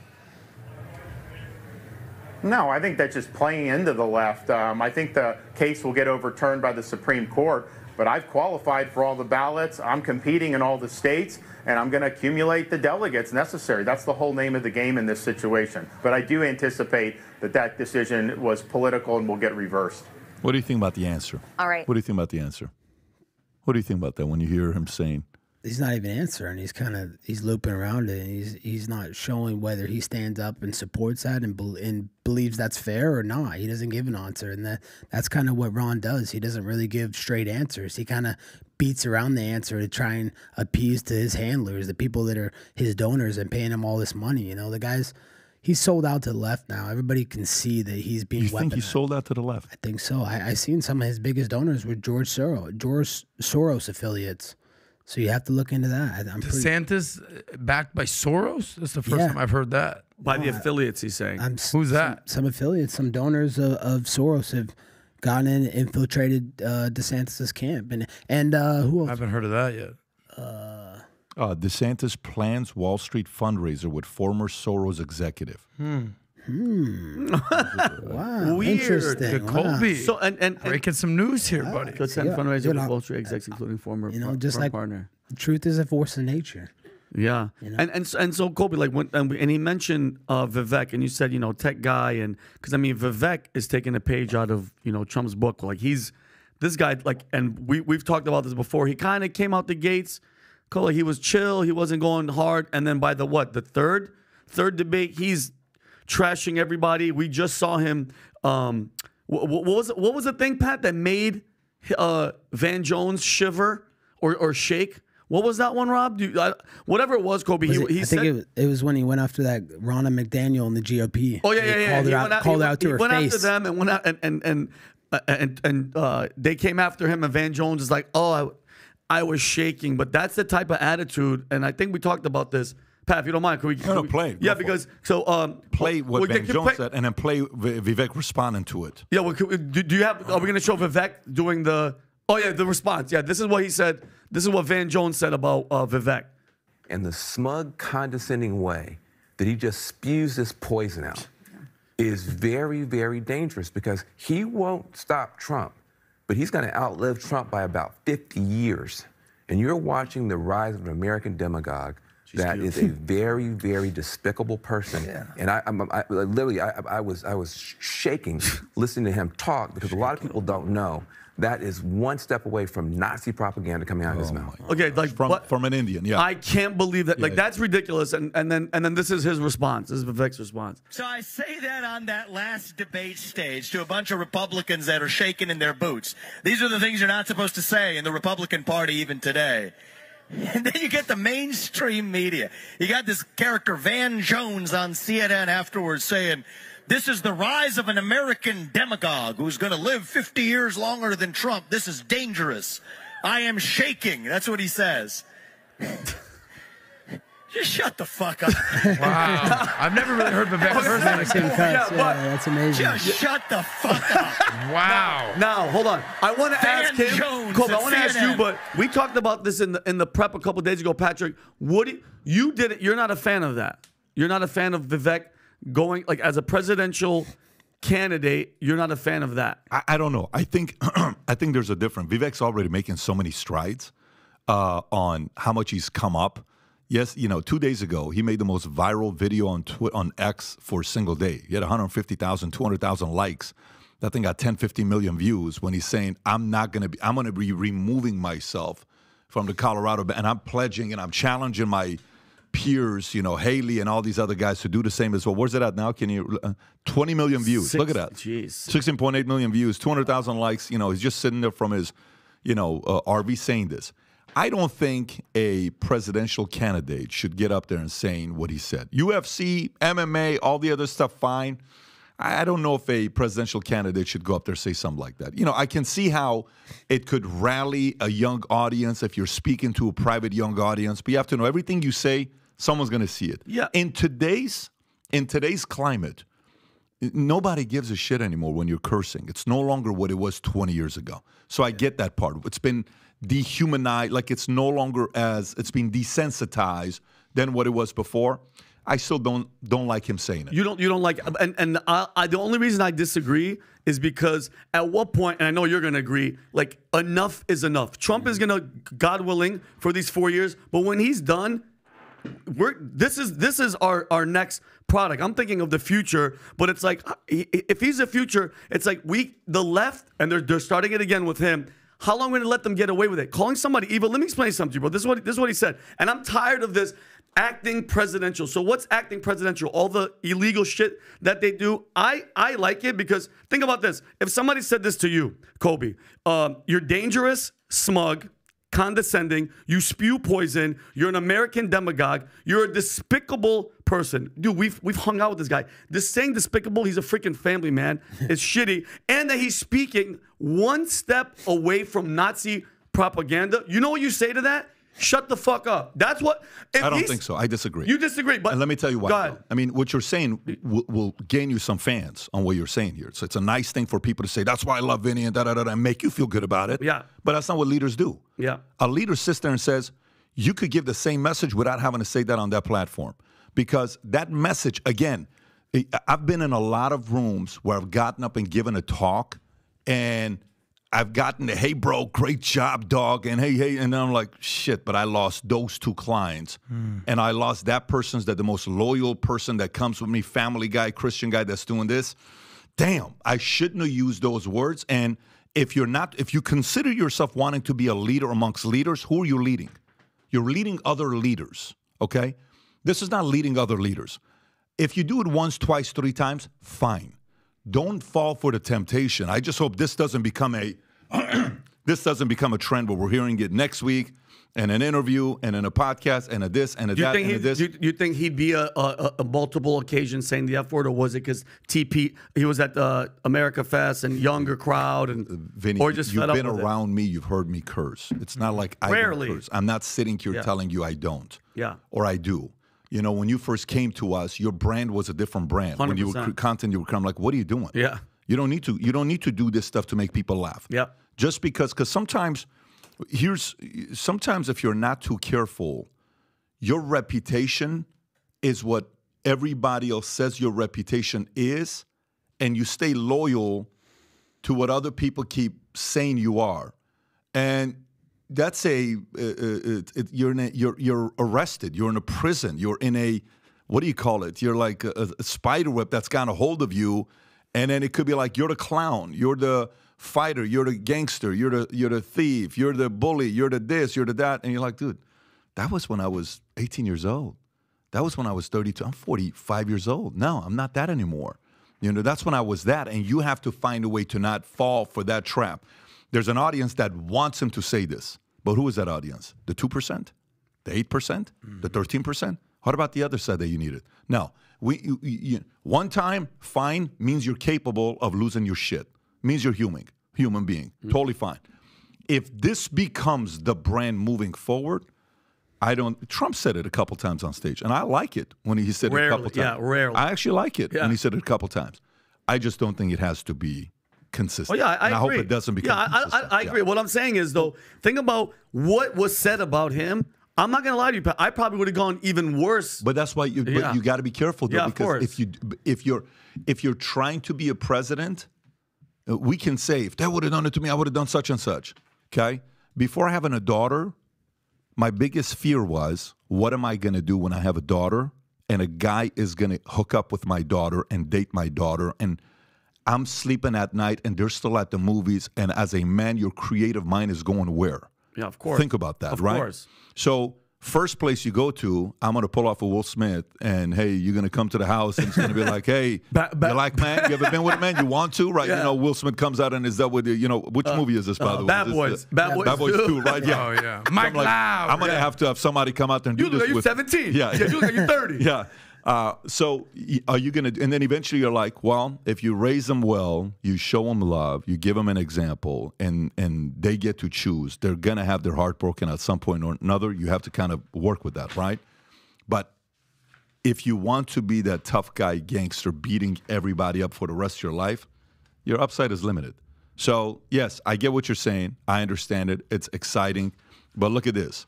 That comment he said didn't go viral. And look at this comment 20 million. You know why? Because this made sense. This made sense. He didn't curse one time. He didn't say any. This makes sense. And people listen to it to the point where he's cornering DeSantis to, and, and he knows what DeSantis is going to say. Yeah. You, you understand what I'm saying? He Yeah. knows they're going to go to DeSantis and he's going to be asked that question, and DeSantis is going to say no, and MAGA's going to see it. Mm-hmm. He knows what he's doing. Do this. He can outschool his peers staying in this mode, not in the other mode. The other mode is temptation. Again, I could be wrong. It's my opinion. That's all I'm saying. If you see yourself as a leader amongst leaders, you have to pump the brakes when it comes down to certain approaches you take. Yeah, I Co- think Kobe, what do you think?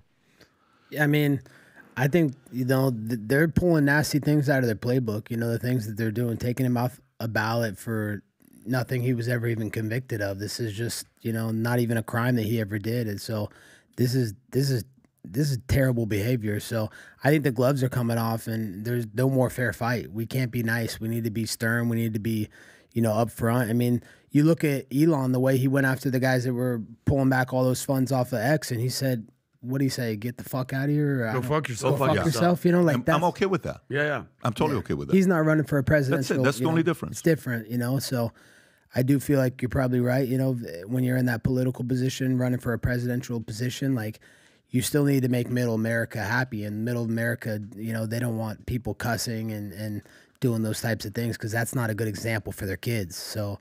Yeah, there's ways that he could come across a lot stronger without having to say that. So I do agree on that front. But we also we're not being playing fair anymore. They're not playing by the rules. You know, they've opened never our have. borders, By the way, and they never will. That's our job. Let us do it. You don't need to do that. Okay.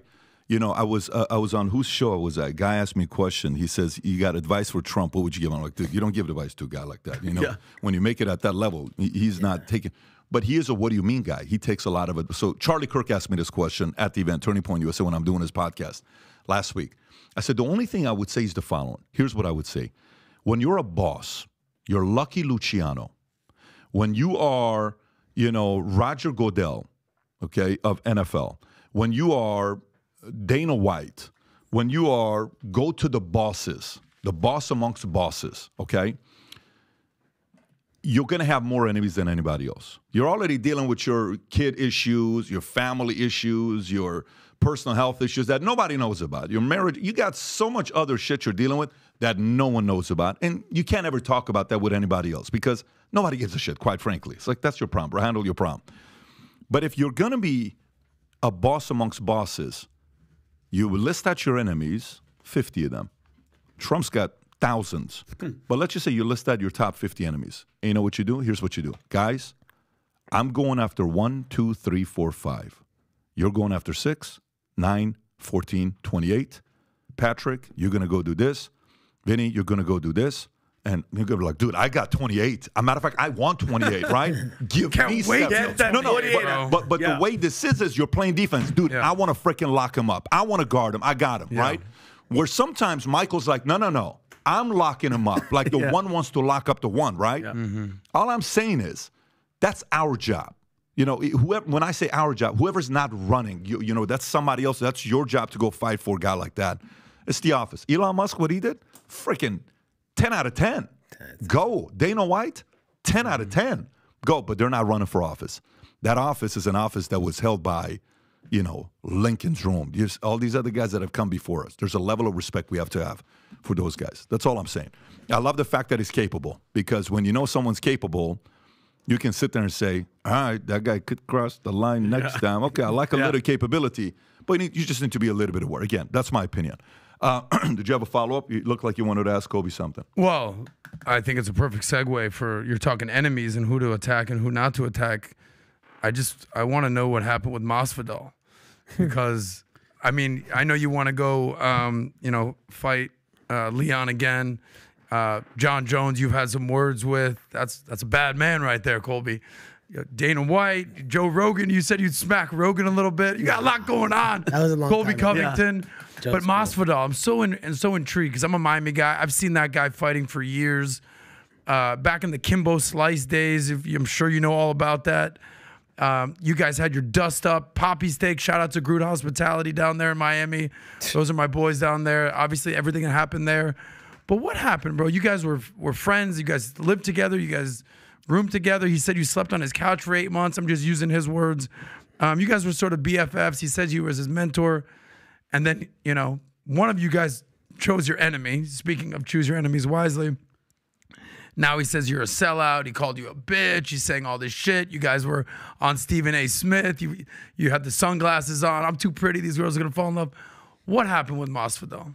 I beat him up. I gave him the 50 43 in a soda. It was the easiest fight of my career. I can't believe they paid me what they paid me to beat that backstabbing bum up.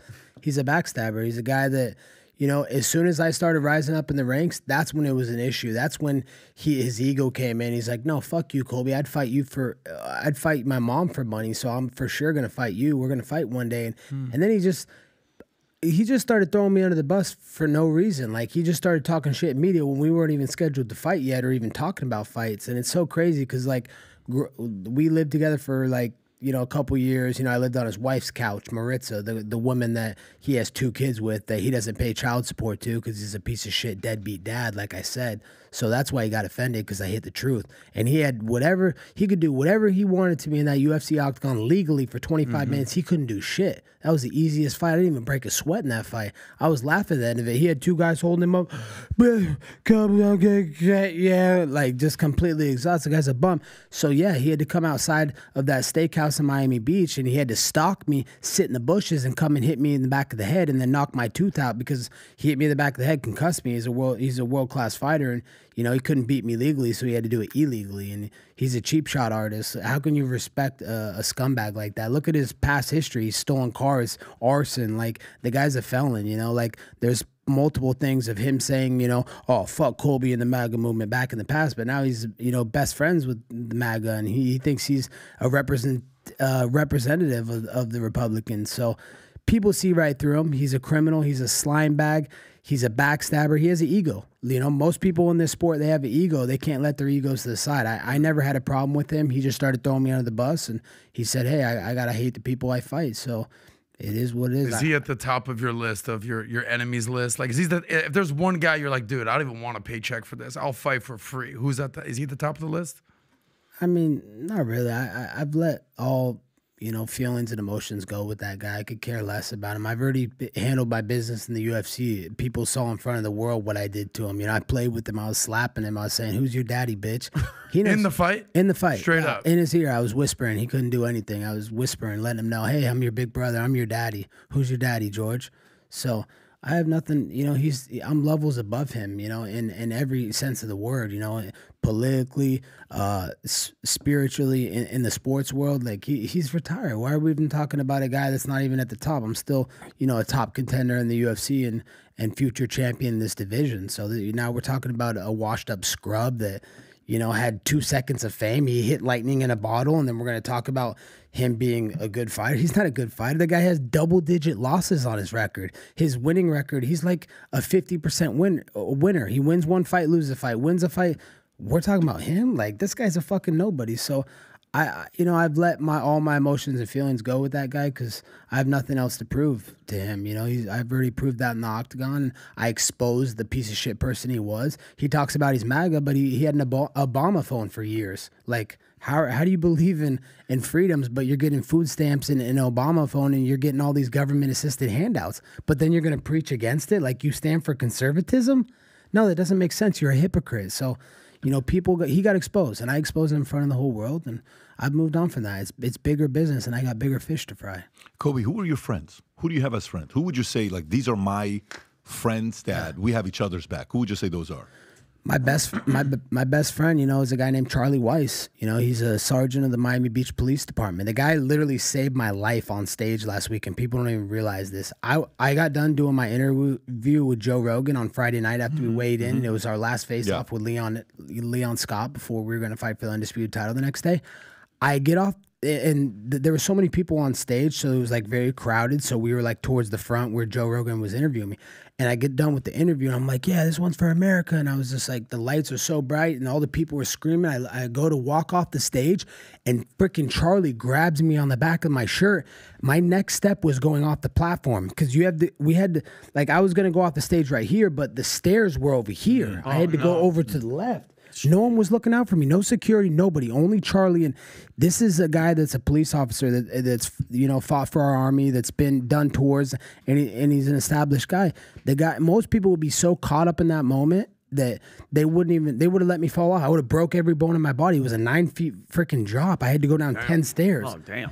Yeah, so this is a guy who really cares about me, doesn't get caught up in the moment, is truly watching my back at all times like a brother would. And I consider this guy family. I, I would take a bullet for this guy. He's he's blood. He's he's more than family, and, and you know he's my best friend who, Who, I care about. who else in the UFC world? Who else in the fighting world? In the fighting world, you know, I, I don't have friends because you know I always said, you know, I'm not here to make friends. I'm here to make money, and and that's what matters to me is, is financially changing uh, my future and my family's future. I've been able to do things for my family, get them things that they would have never been able to get otherwise. So, you know, everybody's jealous of me. They hate the way I do business, but they're not making the checks I'm making. They're making basic pay, you know, and they'll be broke in a couple years. I'm set for life. Do you I'm- think that's the right approach? Do you think you're taking the right approach with relationships? What do you think? Because I mean, it- it- to me, uh, uh, you know, I had a guy that I was doing business with. I'll never forget what he told me in Atlanta one time. He says, "Look, this is how I am, man. I'm gonna destroy everybody. I'm gonna hate on everybody. I'm gonna kill everybody, and then years later, uh, when I'm so far ahead from them, then I'm gonna try to be friends with them." I'm like, yeah, I don't know if that strategy is going to work because at the end of the day, when you're like, even in the NBA, right? Like, the, my guy's Kobe. Okay. And I've had Kobe on, we've spent time together. I, I just, I relate to Kobe. Kobe went through a phase where, as a villain, I mean, his nickname, right, Black Mamba, after all the stuff that happened with you know, uh, incidents, Colorado stuff that happens. This is how you guys want to do? No problem. And guess who gave him the name Black Mamba? Himself, right? Yeah. It wasn't like others gave him the name. No, I am the Black Mamba. And then he put a whole persona around it, like, you know, Bosworth used to be the nicest guy. I don't know if you've ever seen the Bosworth documentary. If you've never seen, I think you would really like it if you've not seen it. Phenomenal Bos- documentary. called Bos, right? You ever seen the documentary? Yeah, Brian Bosworth from Oklahoma. It's him and his Yeah. son. It's him and his son, and they're going through the old material, and they're doing it when he's in his late fifties, early fifties type of thing. It's actually, it's worth you watching it by yourself without anybody else around, right? Okay. And then all of a sudden, Kobe, Kobe comes into the league, and you know, in the Olympics, he tells Carmelo Anthony and LeBron, if I come across the center and I see Pau Gasol is putting up a screen, I'm gonna run right through him. Have you ever seen this clip or no? I've heard about Okay. it. Yeah, I haven't- he runs right through him as if he's tackling.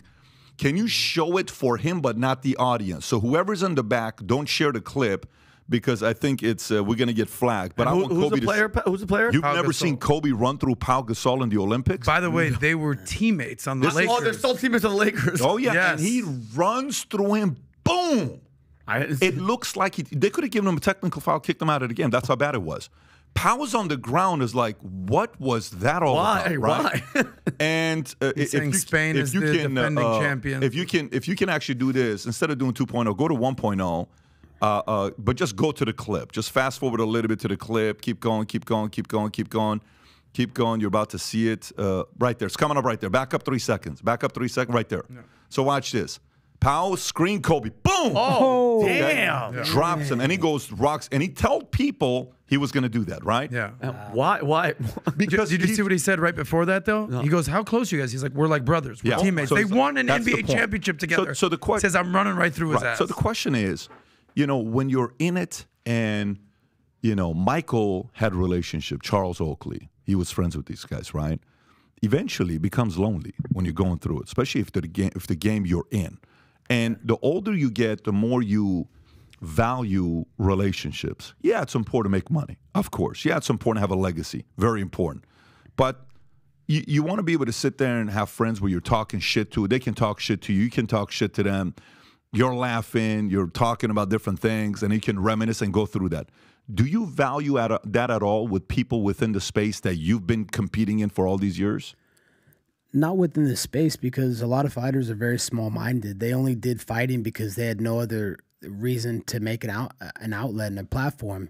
You know, these are the guys that were fighting in backyards, so they just decided to fight. The- there- You don't see a lot of fighters that have you know very good degrees or or have an education. They're just all they know how to do is oh testosterone, let's fight, you know, and that's never been me. So my friend and my support group is outside the fighting circle. I don't I don't want to have friends in the fighting circle because the people in the fighting fighting circle circle their perspectives are completely different than mine. They don't think the the way I think. They don't they don't approach business the way I approach business. So I don't really want to be friends with those. And and for me, I like to have a disconnect. When I'm not fighting, I don't want to be thinking about fighting. I want to talk about politics. I want to talk about life. I want to talk about the future because there's a reason that the windshield's bigger than the rearview mirror. I don't want to talk about what happened yesterday or what happened in my title fight. I want to talk about what's going to happen right here in the moment. I So- get that. And and and and uh, again, look, I'm 45.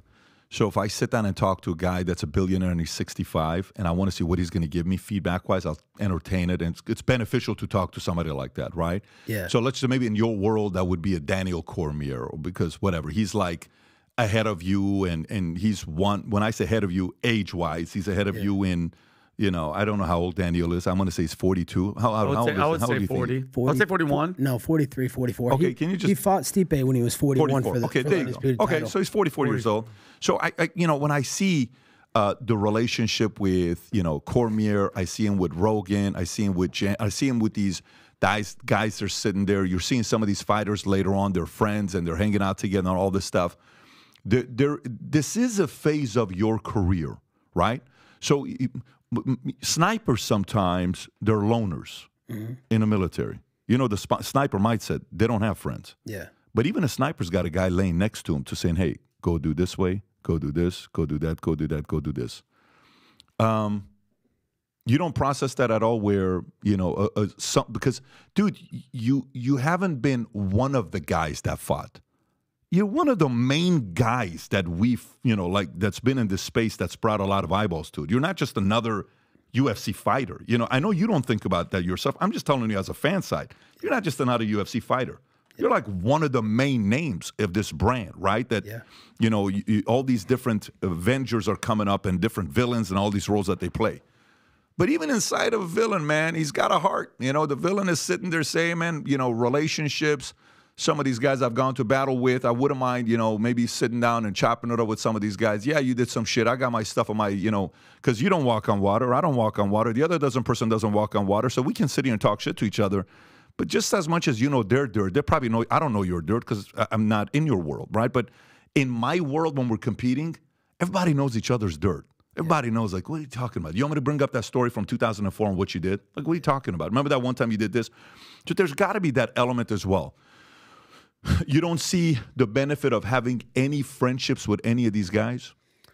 No, I mean I have one friendship. I, I, I, you know, I was mistaken. You know, the guy that got me into mixed martial arts, a guy by the name of Chael P. Sonnen. Mm-hmm. That- that's my mentor in the MMA space. That's my friend in the MMA space. I've gotten a lot of advice from him over the years. Very cool. He got me into fighting originally. He he was getting ready for the Anderson Silva fights, and he came to my college, Oregon State University. and He's like, Colby, I want to wrestle with you, get your pressure, pace, and I want you to help train me for Anderson Silva. So that was when I got to sit down with him and understand more to this business. It just wasn't just about fighting. There was more. You need to entertain. This is show business. So, mm-hmm. you know, Chael's done a lot for me, and I still get a lot of advice from him and talk with him on the phone regularly to today.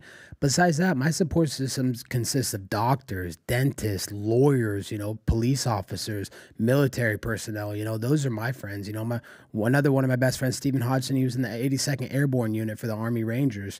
Now he's uh, with the Golden Knights in the Army. So, you know, these are the people that I look up to. Charlie Weiss at the Miami Beach Police Station. Kirk Weiss, he's a top lawyer for Chick fil A. He's one of the top lawyers in the world in Miami. And Ritter and Ramsey, this dentist up in. Uh, in Jupiter, who did my teeth, who you know, these are the type of people that are, that are successful, that understand business and and more than just fighting, you know, and th- and that's that's more that's what I want. I want disconnect from this fighting world, and I want to have friends that you know, like you, that that are bigger than than larger than life. W- were you closer growing up uh, uh, uh, to pops or mom? I was a mama's boy for sure. You were a mama's boy, but close to both. Close to both. Yeah. Okay. My dad got me in wrestling, so Did, did anybody hardcore, and I'm, I'm not asking for a name, but did, did anybody hardcore ever backstab you or betray you where you're like, you know, you're like Tupac, don't trust no one? Did that ever happen or no? That's not at all the case. oh yeah, that's happened a couple times. Okay. And was there one that was above everything where you made a personal truce to yourself? Dude, this is it.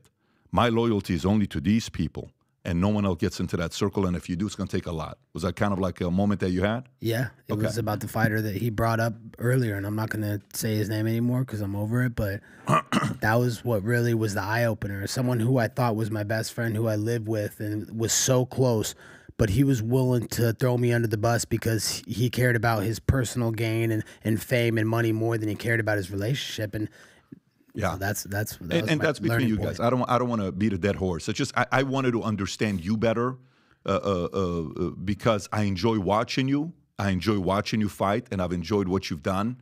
Thank you. And I wanted to get a better understanding about why you play this villain role, bro. I wanted to see why you play this villain role. I don't play the villain role. I, I'm I'm just myself. I turn it up to eleven. I don't care what people think of me. Yeah. I, people can have their own opinion. I respect everybody's opinion in America, and that's what makes this country so beautiful. Is that we can all have descending and different opinions, but we don't all have to think the same exact thing all the time. So you know, I respect everybody's opinion. They're entitled to it. I'm not gonna shame you or throw you under the bus because you have a different opinion than me. I'm, mm-hmm. I want you to have your own opinion. I want you to think for yourself. I think that's fair. And and you're February 22nd, right? Are you 22nd? Yeah. February 22nd. Interesting. man. very interesting. Sharp bro. memory. Very interesting guy. very, very interesting. What can he say about him? Because he's obviously one of the best shit talkers of all Oh time. man, I, He started it. Didn't he? He, West- he he's was a- the initial guy. That guy. He, That's our Oregon gangster, the West Linn gangster, mm-hmm. man. You don't want to mess with that guy. You walk around the streets of West Linn, Oregon, man, the people don't realize how tough he had it, man. That guy's a gangster. There was some years back 20 years ago when his parents only made 100000 a year. Could you imagine having to live off 100000 a year 20 years ago? you're saying that he had an easy upbringing? Is that what you're saying? I'm saying he had a tough upbringing, man. That's tough, man. That's that's, that's impoverished. 100K? That's impoverished.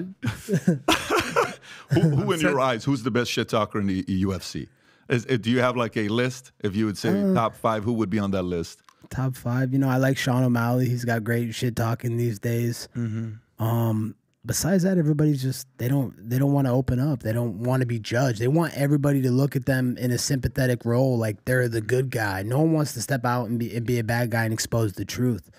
But you know, the truth is what always hurts and stings the worst of these fighters. not so much the best shit talker, not so much, you know, we've asked the hardest puncher, hardest guy. Well, I want to know like swag, like game, like the biggest pimp type dude. Like, ev- I mean, Usman showed up the other day. He was chilling. He, he- you got some game. You, you know, You talking about fashion, like fashion, style? just like Yeah. a, like a like you know you know they say a man's man, uh, and also you know guy that most guys want to be like, but girls want to sleep with. That kind of dude. He's swagged out. He's a pimp. Like ladies man, all that. He dresses well, looks good. Who would you put on like the best game kind of a thing, right? Like swag type vibes. Swag. I mean, definitely Conor. He's, he's done some great things. You know, he's he's one of the biggest fighters of all time, if not the biggest. And you know, he kind of changed the the game. You know, he he brought in so many fans that that never watched UFC before. So that's that's there's casual fans and then there's hardcore fans. You mm-hmm. know, if he can, he brought in all the casuals. So he's got that swag. He's done some great things, and he might be a future prime minister. I think you know he could do some good things for Ireland. You, Yeah. you see the people, you know, rotting and burning in the streets, and he's not okay with that. You know, he, wants those borders secure, just like we need our borders secure here in America. Because if you don't know who's coming in, like, me- like that's what's causing all these crime rates to go up. That's what's causing hundreds of thousands of kids to die from fentanyl every year because these drug lords are coming in. So we need to monitor our borders and, and keep our people uh, free and safe. What's your relationship with Conor? Um, no relationship. You know, I respect his body of work. I think he's done some great things in the space. You know, he's you know the things he did were unmatchable. Knocking out Jose Aldo in seven seconds. You're not ever going to see someone do that in a title fight ever again. So, you know, my uh, my relationship with him is just I respect him, and he's a great fighter. And he's done some great things in the sport, and you know, I think he's going to go on to do better things in politics for Ireland. Really? I do. That would be the most I would. entertaining l- I, prime minister. I might move to Ireland. Right? No, but can you Imagine his imagine, press Oh conferences. my god! Hey, what the fuck? Yeah. what the, the fuck? fuck are you doing? he could say that and get away with it all day long One because it's hun- his brand. They would Yeah. love him, right? Yeah, of course. That's so funny. Because I, I wanted to ask him if it's okay with you. Uh, you were talking about is that? Do you think Colby that one of the main? Because I I believe in it that one of the main issues that we're dealing with and the Biden administration with uh, Mayorkas, the, the you know the Homeland Security, the horrible horrible little rat.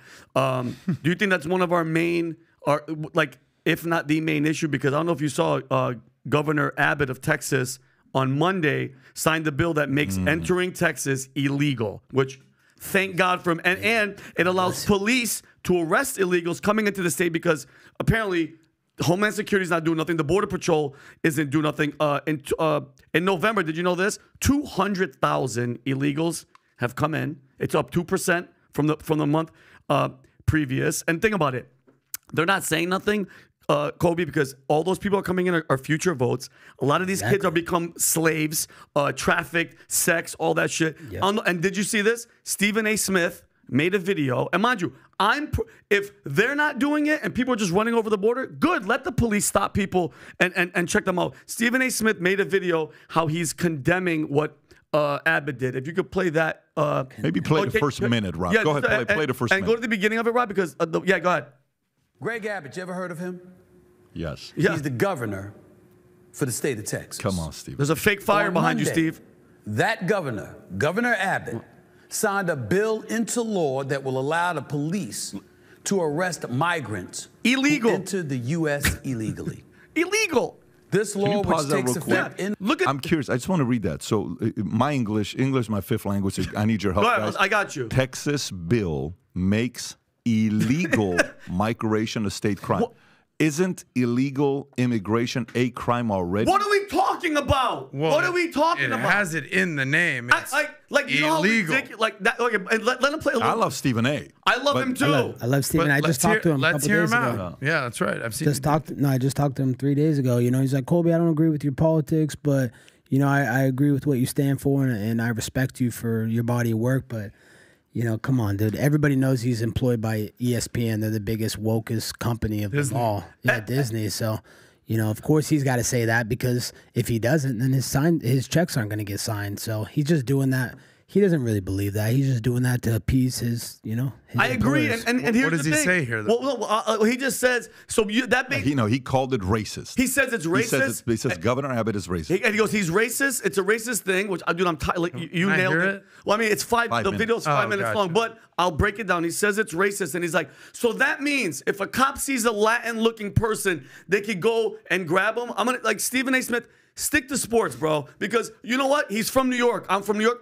Go to New York and ask New Yorkers how they feel about all these uh, illegals that are just bust over there and flown over there and how it's going. At, go ask Eric uh, Adams how is it going because Texas can't, dude. There, have you been? Have you seen the border? Have you seen what's happening? And it's like nobody cares. And I'm tired of this. It's Rob, racist. can you pull up the clip of the border? Because it was a record breaking day yesterday. You know how many people yesterday? 12.5. Wow. Well, 12,500 in a single day crossed the border. And by the way, you know what that is times 365?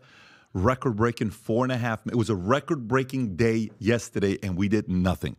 Four and a half million a year if they allowed. They were interviewing who was coming across. Look at that. Is that real? Yeah, that's real. This is yesterday. That's not. That's this is not a.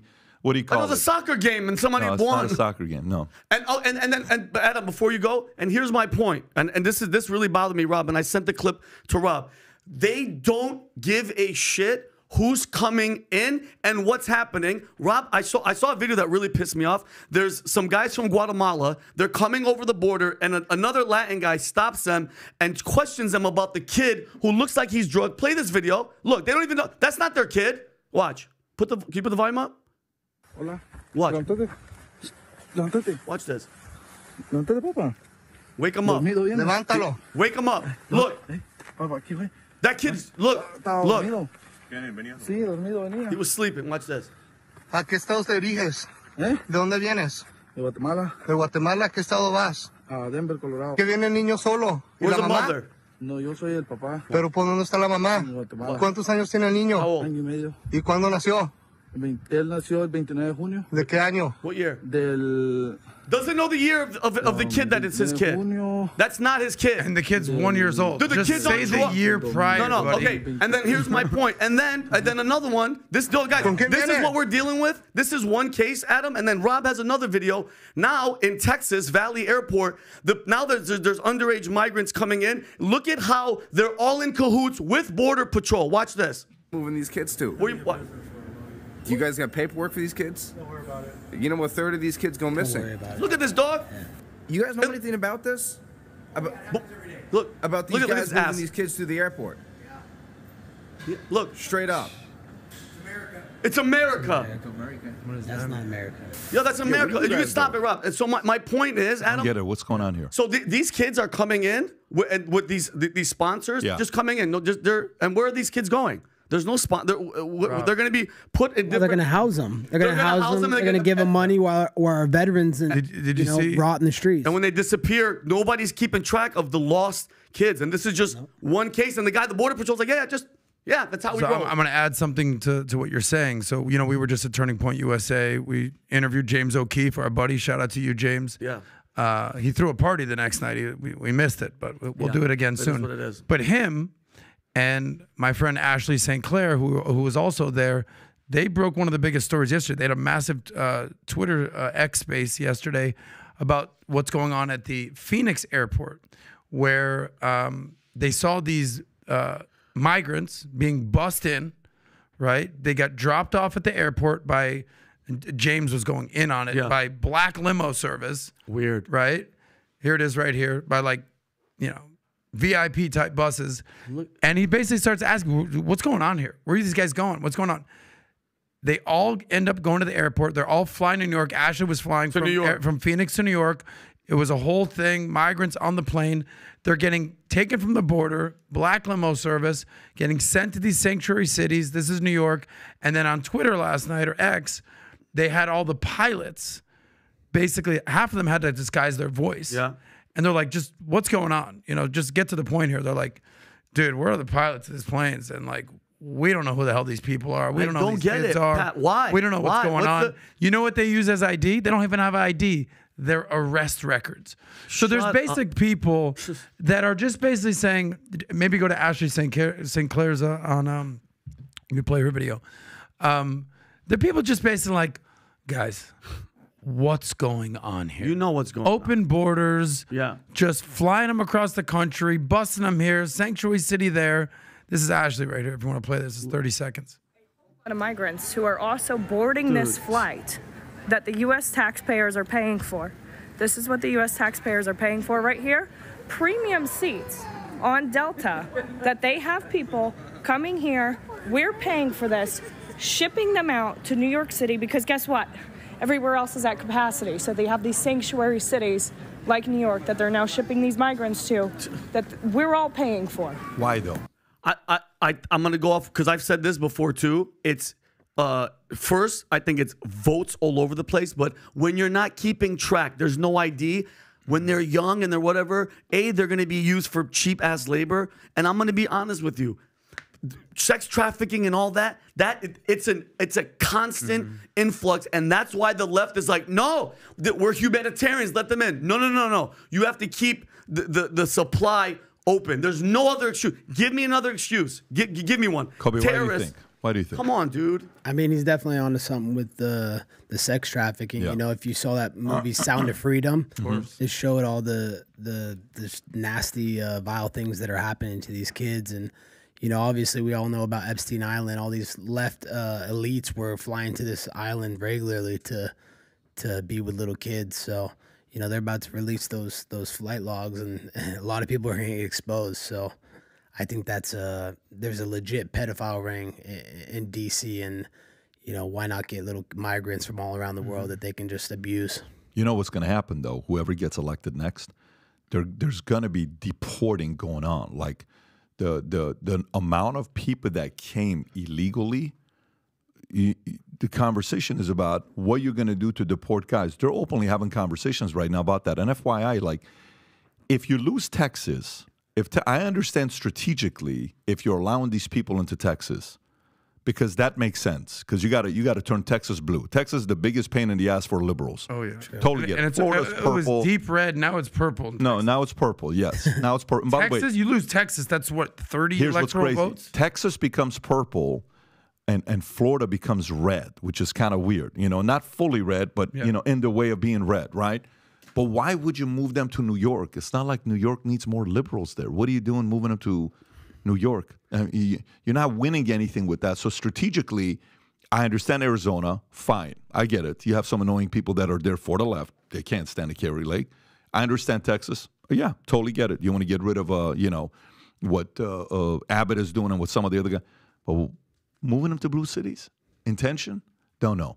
And they're not saying nothing about it. Weird. It's just happening. Isn't that weird? Nothing about it. Yeah. Well, I mean, look, again, this will be more of a reason because there are certain issues, uh, Vinny, that unifies the entire party. For example, th- not the entire party, the entire country. You may be pro life, okay? And she may be pro choice, right? and whatever. You can make the argument for pro life, pro choice. You know what the midterms showed last year? Majority of America are pro choice. You can be pro life all you want. Midterms showed majority of America is pro choice. So guess what, Republicans? You screwed up. Okay. Oh shit. Okay. We paid a price. Should have been a red wave. Didn't get a red wave. Mm-hmm.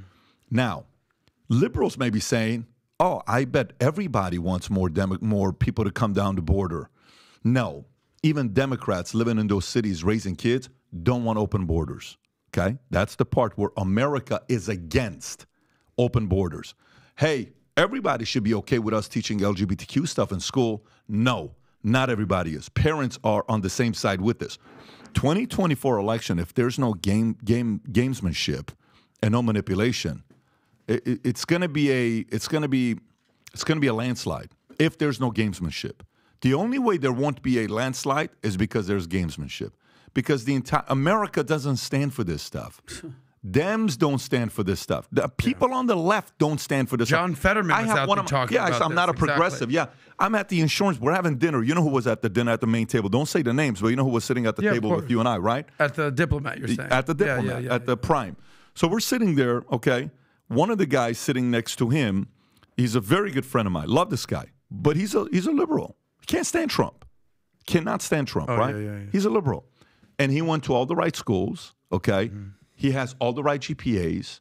When I say right schools, I mean like the Ivy League type of schools, like all that stuff, right? And he guess where he lives? He lives in, New York, Greenwich, Connecticut, Oh, you know, The most expensive house place, in Sag yeah. Harbor, like that kind of stuff. Yeah. And he's saying, look, man, I'm not going to lie to you. What the way the liberal, the left is handling the Jewish community, I don't know. It's making me want to consider voting the other side for the first time in my life. There's so many dumb strategies that the left is playing that they think they 100% have loyalty of everybody on the left, and they don't. I'm convinced they don't. And I think they're going to show it at 2024. I believe that. But again, we'll see. And they're going to play all these games they're going to play. It is what it is. Colby, it's been a blast having you on, man. Thanks really, really enjoy talking to you. Appreciate you for coming on. Appreciate you having me. And uh, uh, gang, I am. We, we're not doing any podcast. Today's what the 21st. The next time we do another podcast will be in 2024. Which No, means- PBD. Yes. means I want No, to wish. I want to wish all you guys a Merry Christmas, a Happy New Year, and may 2024 be the beginning of the greatest years of your life. God bless everybody. Take care. Bye bye. Bye bye.